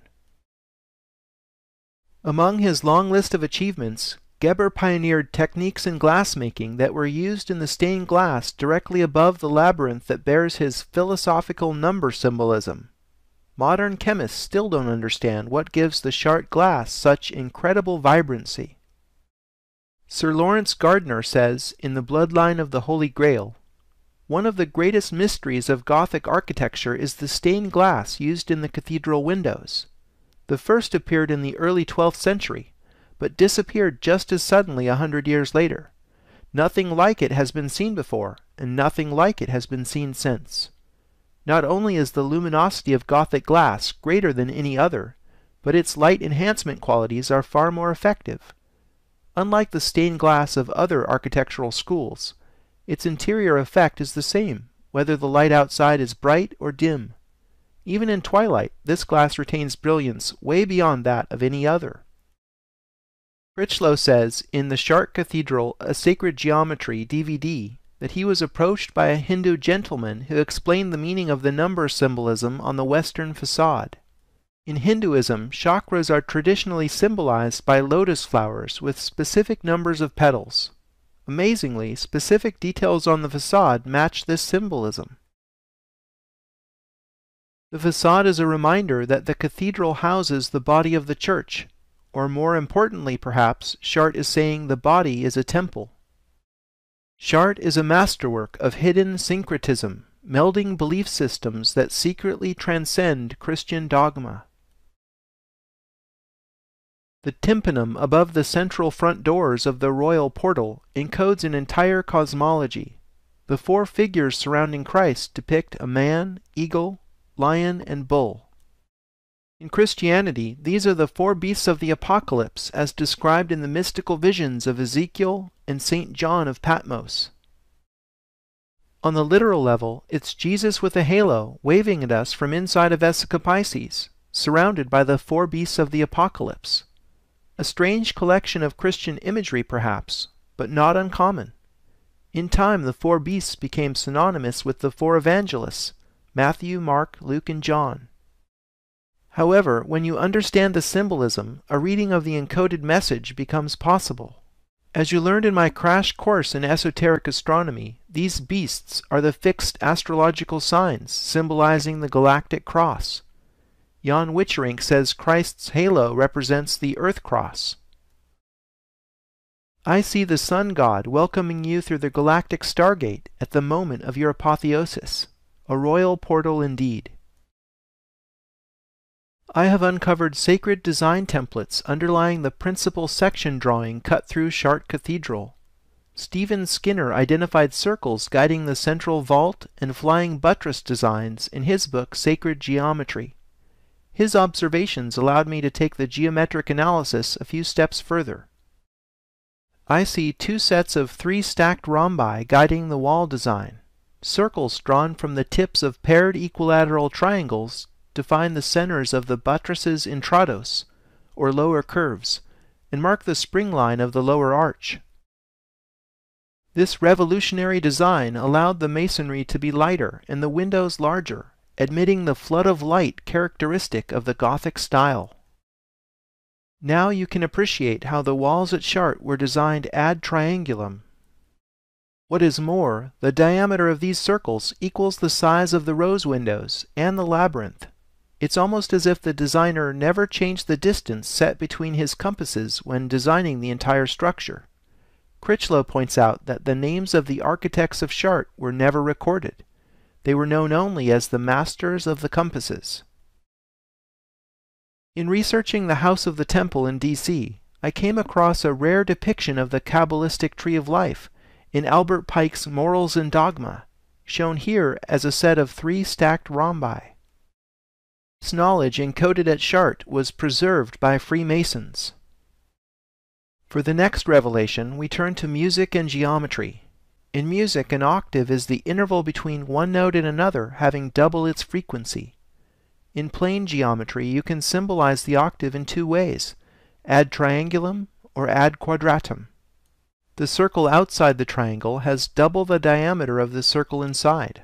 Circle outside the square has double the area of the circle inside. The central vault is defined by a larger circle having twice the diameter of the smaller circle inside which itself is equal to the diameter of all the circles in the wall section, the rose windows, and the labyrinth. Chartres is therefore based on one circle repeated using musical principles. Amazingly, the flower of life fits this geometry. Perhaps the master of the compasses used the flower as the overarching design template. You can draw the flower of life using compasses only. The nave width is set by a central circle which is tangent to four others, having equal diameters. The central circle shown within the yellow triangle completes the picture. Masonic society probably began around the time Chartres was being built. Recall how St. Bernard de Clairvaux was instrumental in the formation of the Templars, and later, after the Templars were taken down, the knowledge they unearthed from Solomon's temple went back underground to survive in Masonry, Rosicrucianism, and other secret societies. The Masonic square and compasses emblem often depicts these instruments surrounding the letter G. As with most symbols, the meaning of G depends upon your level of knowledge. I've seen it referred to at times as geometry, the generative principle, and most appropriately for what I'm investigating, the great architect of the universe. I discovered a long-distance alignment that leads from France to the United Kingdom. This one begins very close to Chartres both in time and space. Chartres Cathedral was built at the same time as Bourges Cathedral, and is only a hundred miles away. When I was studying Bourges Cathedral, I kept thinking about the connections between the founder of the Gothic style and the Templars. So I drew a line in Google Earth from the central entry of Bourges Cathedral to the entry of Rosslyn Chapel in Scotland. So what? You can draw a line between any two points. But you won't believe what the line passes directly over in London, the headquarters of the United Grand Freemasonic Lodge of England. The United Grand Lodge of England is the main governing body of Freemasonry within England, Wales, and much of the former British Empire. The building is on Great Queen Street, no less. UGLE, as the organization is known, seems to be a fitting acronym for its Ugly as Sin container, historically third on the site since Masonic meetings first started here in 1775, a year before the American Revolution. Perhaps some of America's Masonic founding fathers planned the revolution here. I'm not sure. When the Templars were around, they controlled a sizable district less than half a mile away in the city of London. The temple includes Temple Church, the adjacent middle and outer temples, and a host of related buildings. The Templars themselves said they designed the round portion of Temple Church after the Church of the Holy Sepulchre in Jerusalem, which also features a rotunda. Perhaps politics motivated them to claim Christian provenance for their temple. Longtime esoteric researcher John Smout says a better geometric comparison is between Temple Church and the Dome of the Rock, which seems to have a high degree of correlation with the round church's ground plan. This makes more sense to me, as the Templars did take their name from the Temple Mount in Jerusalem. Case in point, they were never known as the Knights of the Holy Sepulchre. Whichever building was ultimately their template, the Templar influence was so powerful that they actually got the Patriarch of Jerusalem to come to London and consecrate Temple Church in 1185.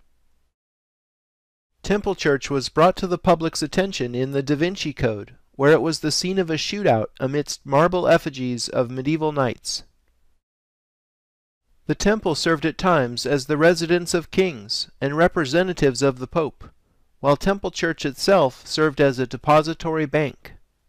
I believe Smout's geometric analysis of Temple Church is right on the money, if you'll pardon the pun.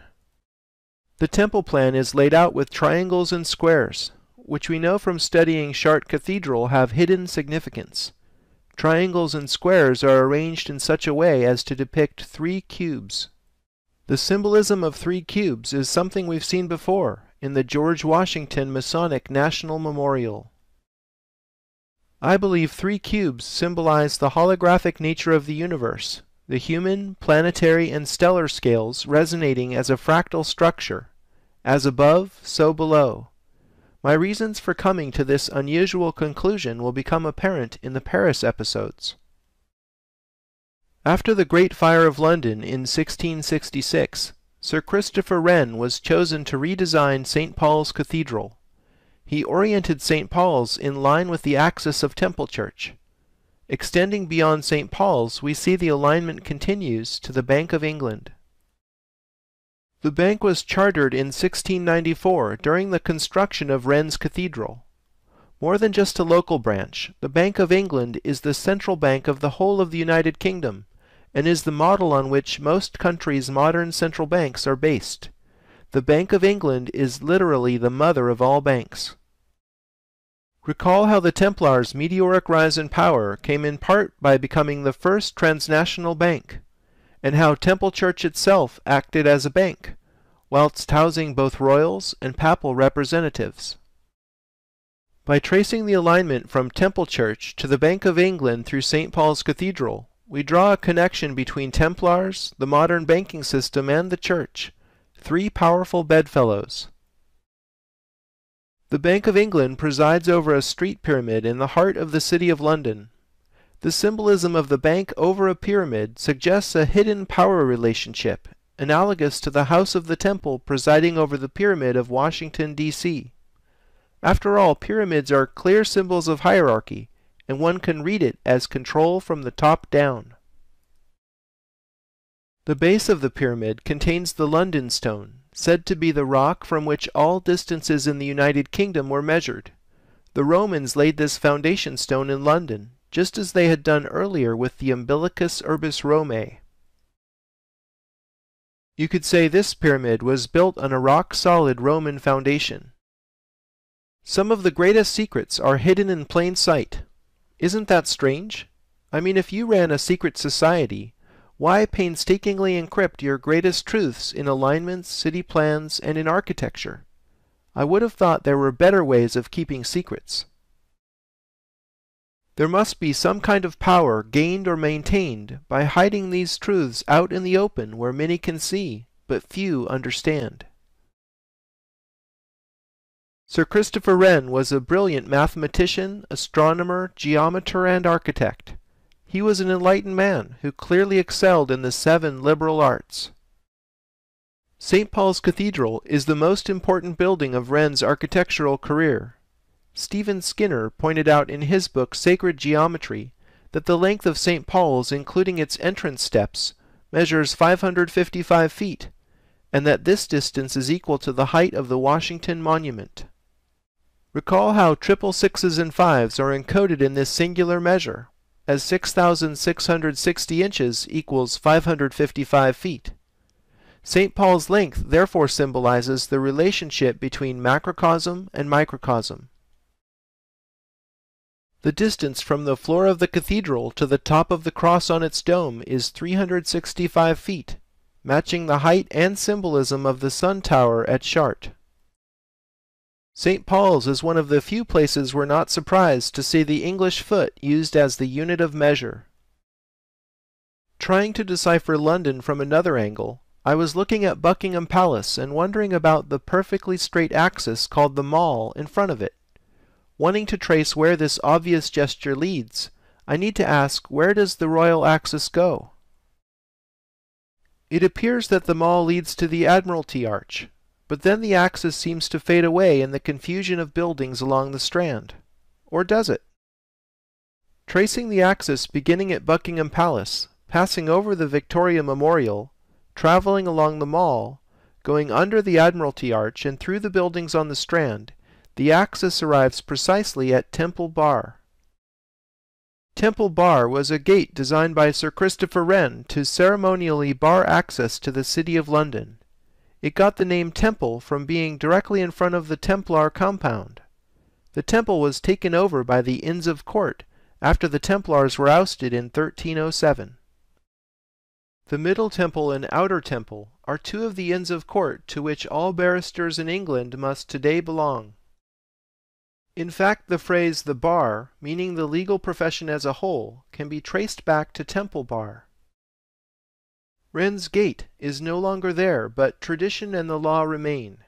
Traditionally, the Lord Mayor would offer the sword of state to the Queen when she passed through the gate as a token of loyalty. It is a little known legal fact that the monarch may not enter the city of London without the permission of the Lord Mayor of London. What's up with that? I always thought the Queen was the one in charge. You might be surprised to learn that the Lord Mayor is not the Mayor of London, nor is the City of London the same as Greater London. Confused? The law can do that. The person the Queen bows to is the Lord Mayor of London. He's the guy who runs the City of London Corporation, a tiny private jurisdiction that covers only about one square mile. The wealthiest square mile on earth, as it's often referred to, is the sovereign state within Greater London, whose boundary closely follows the ancient Roman walls of Londinium. In Isaac Newton's day, there were more than 200,000 souls living within the square mile, but now that figure is down to less than 10,000. Today, the tiny city of London has become a leading center of global finance. Other powerful sovereign cities within cities that come to mind are, of course, the United Nations headquarters and Vatican City. Let's see if you can guess the final city in my world tour here we are over a semi-public urban park. I was drawn to this place when I read it had a small Egyptian pyramid folly, nine gates, and a fifth generation watchman who lives in the diminutive rotunda building right here. Five generations of watchmen living in a tiny pavilion must be motivated to guard something pretty interesting. The informal layout and curving walkways say English Garden, but having been immersed in London, something bigger popped out at me the shape of the park. It closely matches the ancient walls of the City of London. This park was built by the richest man in the country, who was also a king's cousin. He was a lover of all things English, an enemy of all things royalist. He ended up being beheaded like so many others of his time. Where are we? If you guessed Paris, you're correct. We entered the City of Light through the portal of Parc Monceau, established by Louis Philippe II, Duc d'Orléans. As you may have guessed, the Duke of Orleans was a Freemason. He actually served as Grand Master of the governing body of French Freemasonry, the Grand Orient of France. The pyramid in Parc Monceau is trivial, however, compared to what the Louvre pyramid encodes. President Francois Mitterrand commissioned the Louvre pyramid and the adjacent Pyramide Inversée to be completed by 1989 for the celebration of the bicentennial of the French Revolution. Mitterrand personally selected architect I.M. Pei without hosting a design competition, as would be expected for such an important commission. The modern pyramid's metal armature was designed to support a lot of glass. Wikipedia states that the official brochure published during construction cited 666 as its number of panes, but then writes it off as an urban legend because in actual fact the pyramid contains a different number of panes. That didn't stop various journalists at the time from drumming up quite a controversy about the number of the beast, and Mitterrand was jokingly referred to as the Sun King for a while. However, I have indeed found 666 rhombi symbolized in the pyramid. Why rhombi, you ask? A rhombus can be made from two conjoined equilateral triangles. The rhombus is the masculine or linear element inside the feminine curves of the Vesica Piscis, whose name means vessel of the fish, because the Christian fish symbol emerges from it. The rhombus is therefore a sacred symbol. Notice how each of the larger rhombic frames contains 36 rhombic panes of glass. As you can see, the number of rhombic panes on a typical face adds up to 153. This is a very interesting number that has mystical Christian significance. Do you remember the square root of 153 being equal to the number of moons in a year? We learned that fact by studying Stonehenge. Here's a quote from the New Testament that entangles fish and 153 in a Christian net. Simon Peter went up and drew the net to land full of great fishes, a hundred and fifty and three, and for all there were so many, yet was not the net broken. This number of fish, I mean, why bother enumerating them, has puzzled scholars for centuries, and is an example of how parables in the Bible encrypt important information in plain text. Here's Jesus describing his practice of hiding information in symbols. He answered and said unto them, Because it is given unto you to know the mysteries of the kingdom of heaven, but to them it is not given. Therefore I speak to them in parables, because they seeing see not, and hearing they hear not, neither do they understand. Tabulating the additional triangles and converting them to rhombi, and then adding the number of rhombic frames, we get 166.5 symbolic rhombi in a typical face, and four such faces equals 666. Let's look at the actual Bible quote and see what it tells us in regard to the infamous number of the beast. Here is wisdom. Let him that hath understanding count the number of the beast, for it is the number of a man, and his number is six hundred threescore and six. Why man is called a beast should be obvious by what humans are doing to this planet's natural environment. We may be bestial in our unenlightened state, but this is beside the point I'm making. The beast here is not Satan, but man. In particular, the Louvre pyramid is about a man. Robert Bauval had a stunning realization described in the book Talisman. He realized the historic core of Paris is correlated with the temples of Luxor and Karnak in Egypt. Luxor and Karnak are adjacent ancient temples.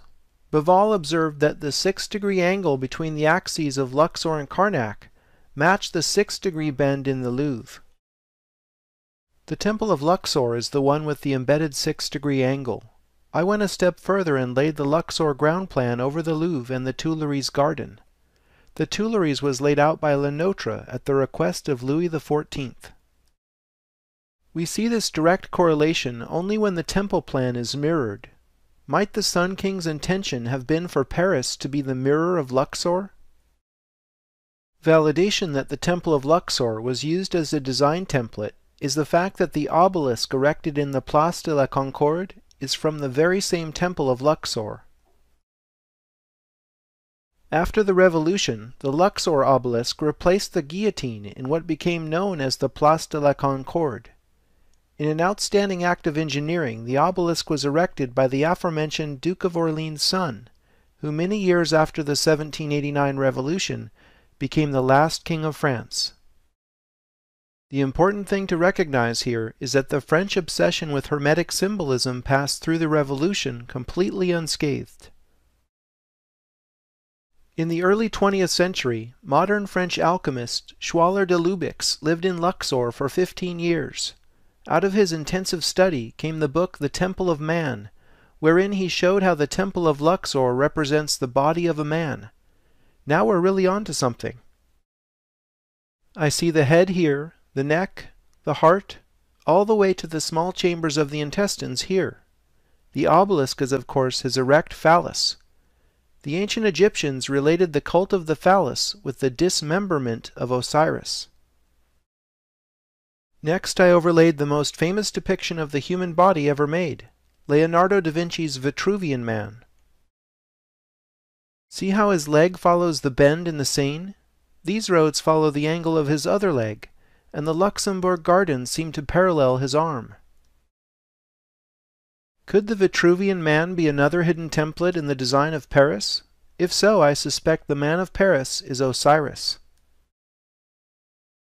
Thinking on this, I started to see energy centers in the parterres of the Tuileries. At first I thought they were chakras, but their locations tell a slightly different story. In a normal state of consciousness, people don't see chakras. However, as we learned at Chartres, chakras are part of the architecture of the universe we've been investigating. If chakras exist on another level of reality, call it the etheric body or aura if you will, then their interface in our everyday reality is controlled by the endocrine system in the physical body. Why do we care?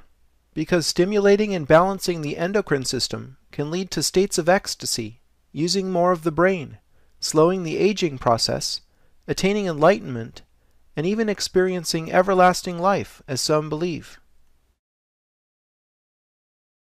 I was able to pinpoint gland locations in Paris because of another observation. Many famous public spaces have axial streets pointing directly to where the ductless glands would be in the body of a man. The Church of the Madeleine and Palais Bourbon form a cross axis directly in line with the obelisk in La Place de la Concorde. On one side we have Napoleon's church venerating Mary Magdalene, who is said to have started the royal bloodline of the Son of God. On the other side is the Palais Bourbon, containing the lower house of the Parliament of France, known as the National Assembly. These two Roman-styled temples energize the gonads in the body of Paris, on either side of his phallus centered on the axe historique.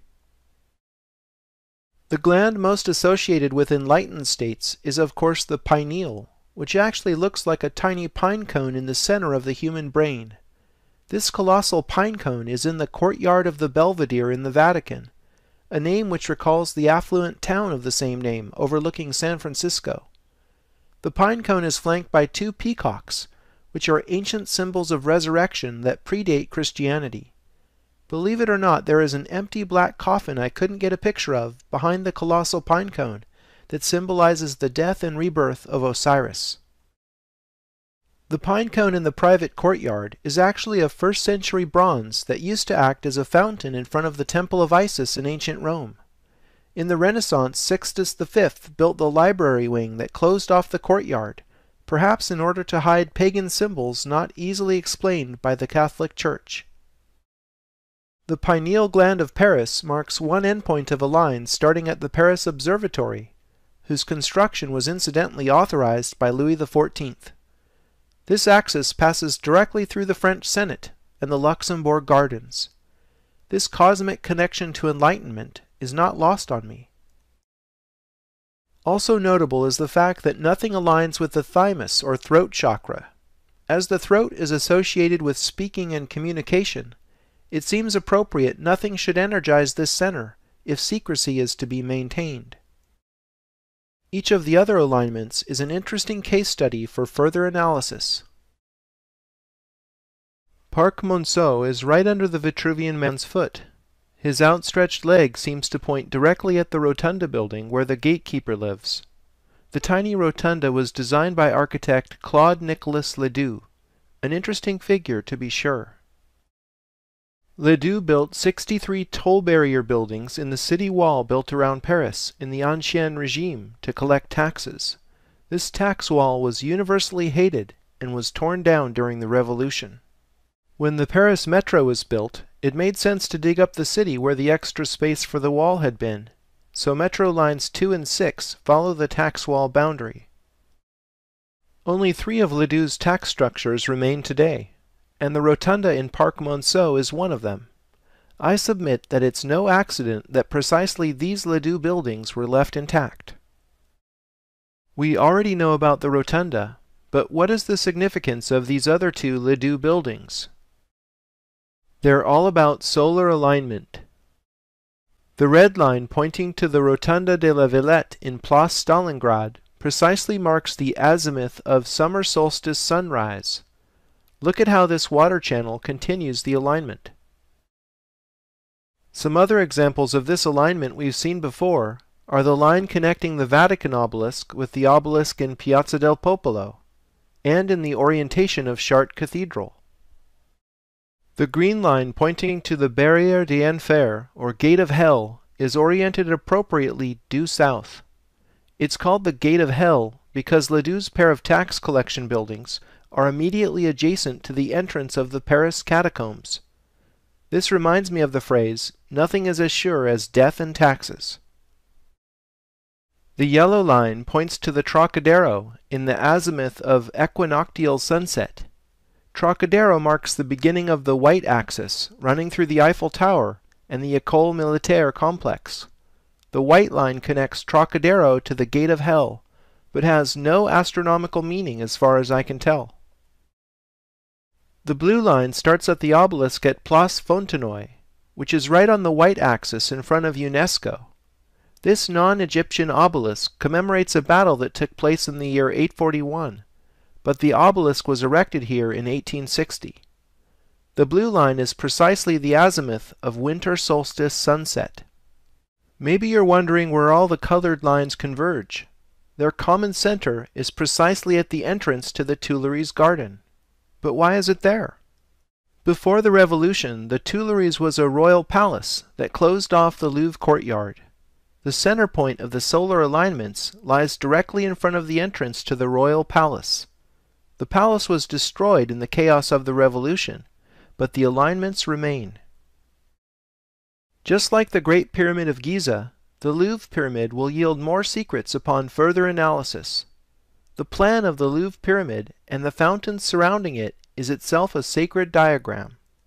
Referred to as the sacred cut of Ad Quadratum, the diagram was traditionally used as an astrological house chart in centuries past. Overlaid is the house chart Johannes Kepler made for General Wallenstein in 1608. Yes, that's the same Kepler who discovered the three laws of planetary motion that keep telecommunication satellites in orbit today astrology is actually very serious business. The Louvre Pyramid acts as entrance to the world's most visited museum. Recall how I overlaid the Vitruvian Man only after analyzing the pyramid itself and finding the mark of the beast encoded within. The Vitruvian man's mouth corresponds appropriately with this entrance, so the next time you enter the Louvre, ponder its symbolism. You are entering the mouth of the beast. Look at what is aligned with this so-called mouth, the Palais Royal. Central to French history, the Palais Royal is where many generations of royals lived. Louis XIV grew up there, for example. The Duke of Orleans later owned the palace. I was extremely surprised to recognize the 5 by 12 Jerusalem rectangle precisely framed in the proportions of the royal palace's court of honor. The palace garden's two famous lawns symbolize the two holiest spots in Christianity and Judaism. There is clearly a royal French connection to the ancient mysteries. Royal of royals, Louis XIV's reign of 72 years was longer and arguably more powerful than any other king in European history. Architect of the Vatican St. Peter's Square, Gian Lorenzo Bernini allegorically portrayed Louis XIV as Alexander the Great in the famous equestrian statue located in front of the Louvre Pyramid. This statue marks the beginning and faces in the direction of what is called the Axe Historique of Paris. The historical axis runs from the equestrian statue of Louis XIV, under Napoleon's Arc de Triomphe du Carrousel, through the Tuileries, over the Luxor obelisk, under the Arc de Triomphe, all the way along the Champs-Élysées to its endpoint within the Grand Arch in La Défense. French Egyptologist Jean-Marcel Humbert had this to say about the axe historique. I have not verified this, but it is said that the great axis is a Masonic alignment, and that this is not the result of chance. It is known that the Freemasons find their origins in ancient Egypt. I have verified that the axe historique is indeed aligned to the heliacal rising of Sirius, just as is the older Notre Dame on the Ile de la Cité whose axis parallels the Champs-Élysées. Hancock and Bauval trace the origins of this alignment to the fact that Notre Dame was likely built over an ancient Roman temple of Isis. Notre Dame, or Our Lady, is therefore Mary veiling Isis. Perhaps even more amazing, Hancock and Bauval show the word Paris comes from the melding together of the words Pharia Isis. Pharia, or Pharos in Greek, is the island where the wondrous lighthouse of Alexandria was, and the center of Isis worship in antiquity. Now let's imagine taking an enlightening ride with the Sun King along the axis he laid out, which was greatly embellished with hidden symbolism by Napoleon, Mitterrand, and many others on up to the present day. For the first destination, we must travel underground, both under the Earth's surface and below public consciousness. La Pyramide Inversée is an underground atrium space surrounded by fashionable boutiques. The downward-facing pyramid is the symbolic opposite to the famous museum entrance. As the upward-pointing pyramid symbolizes a man, the inverted pyramid must therefore represent a woman. In alchemy, the symbols for fire and water are upward and downward-facing triangles. This polarity is also represented in Western mysticism as sword and chalice. The chalice in question is, of course, the Holy Grail. Going with the Holy Blood, Holy Grail thesis, it's fitting that Dan Brown chose to portray the location of the tomb of Mary Magdalene right here, under the Pyramide Inversée, at the end of the Da Vinci Code. If the Star of David is the symbol of the union of male and female, then the star tetrahedron is its 3D equivalent. Drunvalo Melchizedek's volumes on the ancient secret of the flower of life show the human energy field, or Merkaba as it's known, takes the form of a star tetrahedron, male and female being inversions of each other. On a higher level, Richard Hoagland has shown how star tetrahedron geometry is implicated in hyperdimensional energy outflows coming from planetary cores in our solar system. When a star tetrahedron is inscribed within a sphere, its points touch the sphere's surface at 19.5 degrees north and south latitude.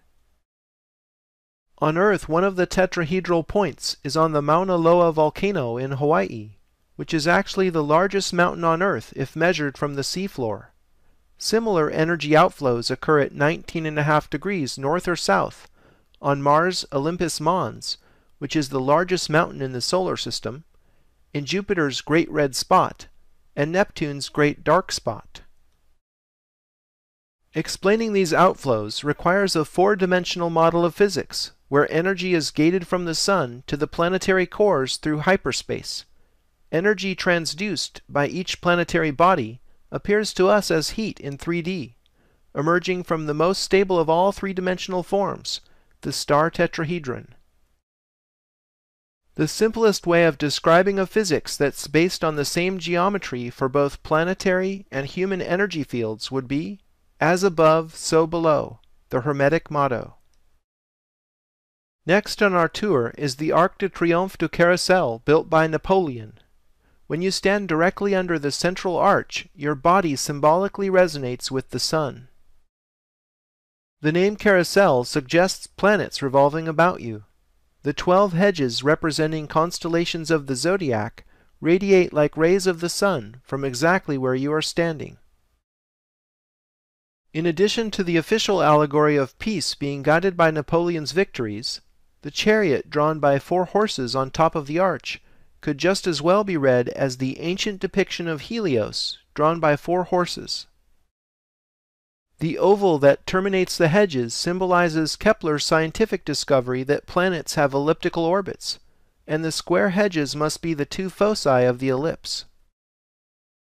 Napoleon was most obviously interested in correlating the human body with the sun. Le Notre laid out the Tuileries garden at the request of the Sun King.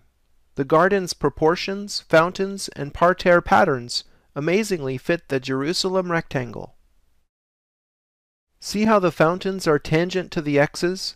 The octagonal fountain therefore corresponds with the Dome of the Rock, and the round fountain with the Holy Sepulchre. Paris is another New Jerusalem. When you train yourself to see Hermetic symbolism, it starts appearing all over Paris in plain sight. It can be a bit overwhelming. Two equestrian statues flank the entrance to the Tuileries from La Place de la Concorde. Her exposed breast suggests this goddess might be Isis. The other rider is Mercury, holding the staff of Osiris, or Caduceus, which has become the symbol of the medical profession. Here's another possible Isis in the garden, and another Mercury. This golden boy is the genie of Paris atop the July column commemorating the revolution of 1830. The genie is Mercury himself. The first time Hermetic symbolism had come completely out into the open in France was during the 1789 Revolution. Here's the Declaration of the Rights of Man depicting the all-seeing eye of the Supreme Being. Incidentally, this design was influenced by Benjamin Franklin, who is something of a Freemasonic celebrity in Paris at the time. Franklin helped design the Great Seal of the United States, which bears the same all-seeing eye. In time for the celebration of the heliacal rising of Sirius in 1793, this fountain was erected in La Place de la Bastille. The famous artist Jacques-Louis David sculpted the Fountain of Regeneration, with Isis even wearing an Egyptian headdress. The water streaming out of her breasts recalls the image of Saint Bernard de Clairvaux receiving milk from the Virgin. And how can we forget this view? The Eiffel Tower as Phallus of Osiris, with the Statue of Liberty replica on the Seine as his sister bride. The largest square in Paris is up next on the Isis axis.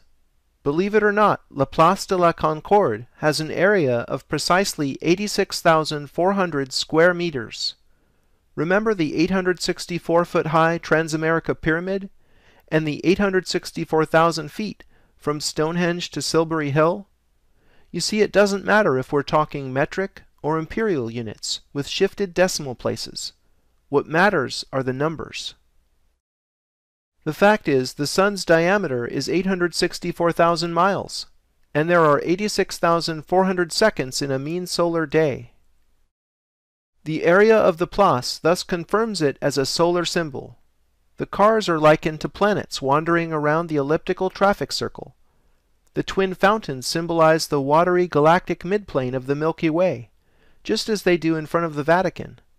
That makes the Champs Elysees the ecliptic. Le Nôtre designed La Place d'Étoile, where the Arc de Triomphe stands today. Standing at the center of the Place of the Star, the ceremonial arch is read literally as a stargate. Twelve streets radiating outward represent a zodiac. The triumphal arch originally honored the warriors who fought for France in the Napoleonic Wars, and it later became the tomb of the unknown soldier. The eternal flame under the arch might be another solar reference. There's certainly a lot of sun worship going on in Paris. Napoleon invaded Egypt in 1798, and not even counting the Egyptians, the French death toll came to more than 20,000 souls. After France's great defeat, Napoleon was asked why he decided in the first place to invade Egypt. He said, I came to draw attention and bring back the interest of Europe to the center of the ancient world. While the campaign was raging, Napoleon spent a night alone in the Great Pyramid, and when asked about his experience, he supposedly said, You wouldn't believe me if I told you. Moving on toward the strange attractor at the end of the axis, we finally conclude our journey through space and time at La Grande Arche. Contemporaneous with the Louvre Pyramid, the Grand Arch was also built at the request of President Mitterrand. This time Mitterrand held a national design competition, but personally selected architect Johann Otto von Spreckelsen in the end anyway. Unfortunately, Spreckelsen died before the project was completed. The location of the Grand Arch has a special relationship to the Arc de Triomphe, the Luxor obelisk, and the Arc de Triomphe du Carrousel. All four monuments are spaced in such a way to create this approximate doubling pattern, suggesting musical octaves. In addition, the Arc de Triomphe is roughly double the size of the Arc de Triomphe du Carrousel, and the Grand Arch is about double the size of the Arc de Triomphe. In the scaling of these three arches, I see three stargates representing the human, planetary, and stellar bodies, just as we saw symbolized with cubes in London and DC. Notre Dame Cathedral fits perfectly inside the Grand Arch. I'm guessing this is no accident. A tune in three octaves, if you will. I call it the Symphony of the Stargates. The dimensions of the monumental structure are cubic, with edge length measuring approximately 110 meters, or 360 feet. Researcher Jim Alison realized that 360 feet is also precisely equal to 210 Egyptian royal cubits, and I see that the office windows inside the arch are arranged in groups of 210, providing validation of this metrology. The exterior side symbolic measure depicts 22 over 7 in meters. 22 over 7 is, of course, an approximation of pi. Twelve columns internally support the structure, and a zodiac is literally depicted in the basement floor, making the arch yet another form of sun worship. The sides of the monumental arch actually contain some 40,000 square meters of office space. Multi-purpose rooms in the basement measure 400 square meters each. These numbers got me thinking. 40,000 and 400 are very interesting numbers. To appreciate this, let's start with the metric system. The metric system was originally defined by measuring the Earth. The original prime meridian passed through the Paris Observatory and continued all the way around the Earth. This circumference was defined as 40,000 kilometers in the 18th century, and this served to define the metric system.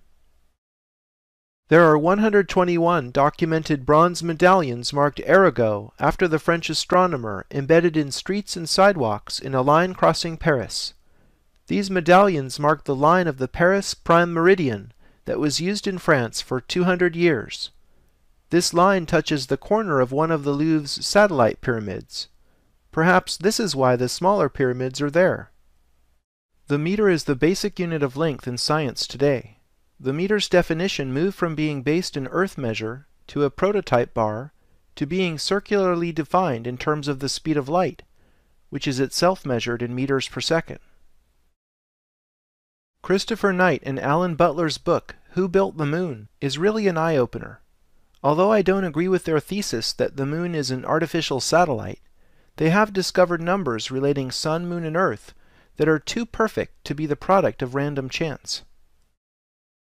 For example, consider a solar eclipse. When one happens, the moon completely covers the sun disk. The only reason this can occur so precisely is because the moon is exactly 400 times smaller than the sun, and happens to be 400 times closer than the sun during the eclipse. The Earth also turns 400 times faster than the moon.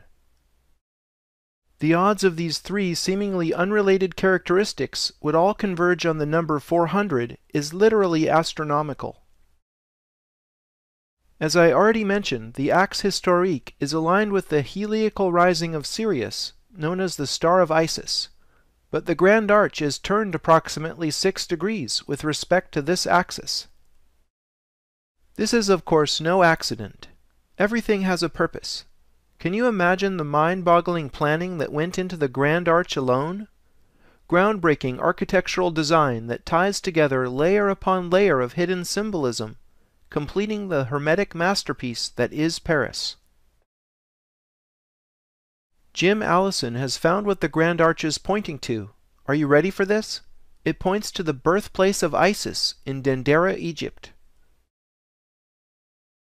This tiny, unassuming temple out in back of the larger Hathor temple is known as the traditional birthplace of Isis. The location of the small cube within the larger enclosure matches the azimuth where the Grand Arch is facing. Remember that the heliacal rising of Sirius was the basis of the ancient Egyptian calendar. Well, here is where all of that started.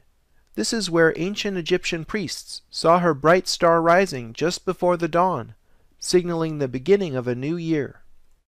Isn't it amazing that the Champs Elysees and Pennsylvania Avenue share the same astronomical orientation with this tiny backwater in modern Egypt? Backwater it may be today, but symbolically it's the holiest place in the cult of Isis. Napoleon came here and had a master mason cut out this massive ceiling from the adjacent temple and ship it back to Paris. It's called the Dendera Zodiac, and is now suspended in the Louvre. As you can see, the Dendera zodiac has octagram star symmetry. More than a zodiac, it is a planisphere showing the whole cosmology as seen through Egyptian eyes. Another Louvre ceiling that gets to the essence of things is Francois Edouard Picot's Study and Genius reveal ancient Egypt and Greece. Hancock and Bauval recognized the importance of this Hermetic work in their book Talisman. The painting allows the viewer to see Isis unveiled for Athena. This unveiling references Plutarch's first century depiction of her temple at Sais, where it was inscribed, I am all that has been, and is, and shall be. My veil no mortal hath ever raised. The term genius in the title is the epithet of the divine messenger Mercury, who is introducing Athena to Isis. I think the Western world, exemplified by Athena, is being introduced to the older stream of knowledge coming out of Egypt. As I can attest, the term study in the title refers to the intensive research required to uncover the deep Egyptian connections that the elite is so clearly obsessed with. Returning to Paris, let's look at the Grand Arch with fresh eyes. Remember that everything has a reason. The Grand Arch is in La Défense, the modern section of Paris. Why? We need a modern mathematical understanding to perceive its deepest symbol and to recognize it for what it truly is, a three-dimensional shadow of a hypercube. Come again? What is a hypercube? If the square is 2D, the cube is 3D, and the hypercube is the 4D equivalent. Here's what a cube looks like when it's being rotated. Here's what rotating a hypercube looks like in three-dimensional projection. The fourth dimension is hard to imagine because it's literally beyond us. You might be interested to learn that four spatial dimensions were known far before the birth of modern science. Here is what St. Bernard de Clairvaux wrote to his former disciple, who became Pope Eugene III. What is God? He is length, width, height, and depth. There are four spatial terms used. Bernard described the fourth dimension in the 12th century. St. Paul also described four dimensions in the first century. That Christ may dwell in your hearts by faith, that ye, being rooted and grounded in love, may be able to comprehend with all saints what is the breadth and length and depth and height, and to know the love of Christ, which passeth knowledge, that ye may be filled with all the fullness of God. Four centuries before Paul, Plato even described higher dimensional reality in his Allegory of the Cave, which goes something like this We are prisoners chained in a cave and sit facing a blank wall. There's a fire outside the cave, and unseen people are passing in front of it. We see shadows on the wall and mistake this illusion for reality. I think we are kept in the dark about a great many things. Notice how the hypercube's shadow in 3D projection looks like a cube within a cube. This structure is fractal, meaning the same pattern repeats at different scales. We've seen things like this before in cities, buildings, and art. Consider the fractal-like City of London within Greater London, Vatican City within Rome, and the United Nations headquarters within New York City. On the scale of a building, take a look at the Dome of the Chain standing immediately outside the Dome of the Rock. It's the same structure repeated in a smaller scale, hinting at a higher dimensional connection for those who have eyes to read the symbolism. Examples from art are Pomodoro's series of golden spheres within spheres, scattered strategically in the Vatican, UN headquarters, museums in DC and San Francisco. The sacred Egyptian cubit is a unit of measure reserved for measuring the earth. One sacred cubit is equal to 6 over 5 raised to the fourth power in English feet. Think about it. Raising to the fourth power means the sacred cubit is literally a hypercubit. Michell and Heath have found there are 10 million hypercubits in the Earth's polar radius and 63 million hypercubits in its meridian circumference. Now these amazingly round numbers measure our planet with remarkable accuracy. How can this be? Some physicists believe the universe is made of 10-dimensional superstrings, but six of them have curled up into unimaginably small size. The four remaining dimensions express the architecture of the universe. Recall how I saw in the union of both Louvre pyramids the knowledge of how energy flows from the Sun through hyperspace into planetary bodies. In addition, the Earth is measured by a hypercubit whose edge length of 6 over 5 relates macrocosm to microcosm. The Earth is therefore a hyperdimensional object, even though with our normal perception we experience both the Earth and ourselves as being only three-dimensional. Another projection of the hypercube into two dimensions looks like this. Do you see the octagram star within? This is where it all comes from. The sun is a hypercube. Recall Metatron's cube. Now that we understand the grand arch, we perceive Metatron's cube as Metatron's hypercube. This 4D solar symbol appropriately contains the 3D star tetrahedron and the 2D star of David. We see now why these sacred diagrams are both called stars, because they are projections of our sun which is itself a star. To make all of this four-dimensional geometry easier to understand, it helps to bring it down a level. Unfolding a square gives you a line. Unfolding a cardboard cube gives you a cross. Unfolding a hypercube gives you a cross made of cubes. Salvador Dali started with this idea when he painted the Corpus Hypercubus. He depicts the crucifixion, yes, but what is he really saying? Corpus hypercubus is the ascended body as hypercube.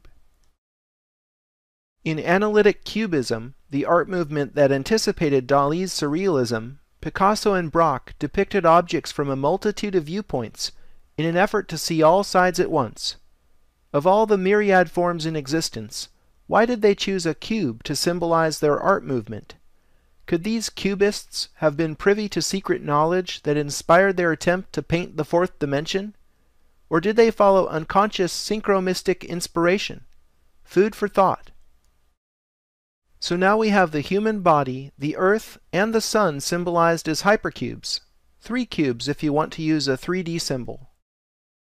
So which is it? It's actually all of the above. The human, planetary, and stellar scales resonate as a fractal structure within the holographic universe. In simpler terms, as above, so below. Metatron's hypercube, as Enoch's hypercube, reveals the cosmic man. Enoch's triangle had the ineffable name of God written on it. Here is that name in Hebrew, which is a language read from right to left. Standing the letters up, we see the depiction of a man made in God's image. The cosmic man is Plato's world soul, alchemy's anima mundi, and the Kabbalah's Adam Kadmon. Here is a piece of my own artwork showing Adam Kadmon emerging from the tree of life. If the human body is a temple, then this temple is much more vast and interconnected than we ever imagined the human energy form resonates with the esoteric architecture of the universe. What we know as the history of civilization is only a very small part of our past. There is something extraordinary about our beginnings not written about in history books. The oldest surviving temples encode an understanding of Earth, Moon, and Sun that is in some ways more advanced than modern science. To catch up with ancient knowledge, a broad interdisciplinary approach is clearly indicated. Specialists in art history, archaeology, architecture, philosophy, semiotics, mathematics, physics, and many others will need to cooperate in new ways.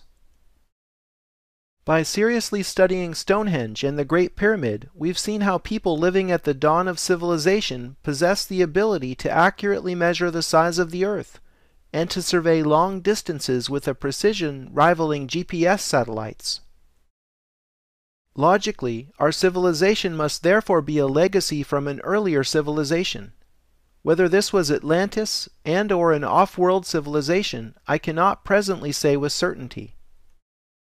The rediscovery of the importance of number, geometry, music, and astronomy should rekindle interest in ancient Egyptian knowledge passed down to us by philosophers such as Pythagoras and Plato. Understanding how the macrocosm and microcosm are related through the art of sacred geometry, in the act of measuring structures and the earth, is a thing of profound beauty. Relating sixes to fives by drawing hexagons and pentagons in the landscape, or by measuring with Egyptian units are brilliant examples of this ancient science at work. Finding Pythagorean triangles, 5 by 12 rectangles, pyramids, octagrams, enneagrams, and zodiacs encoded in much of the world's great architecture and urban design exposes an obsession with ancient symbolism spanning the centuries. The designers take this symbolism so seriously, then there must really be power in ancient knowledge. Putting this story together has been by far the most challenging and satisfying project of my professional life. I hope you've enjoyed it, and I invite your participation in uncovering more secrets in plain sight. This is Scott Onstott, and I thank you for sharing my journey.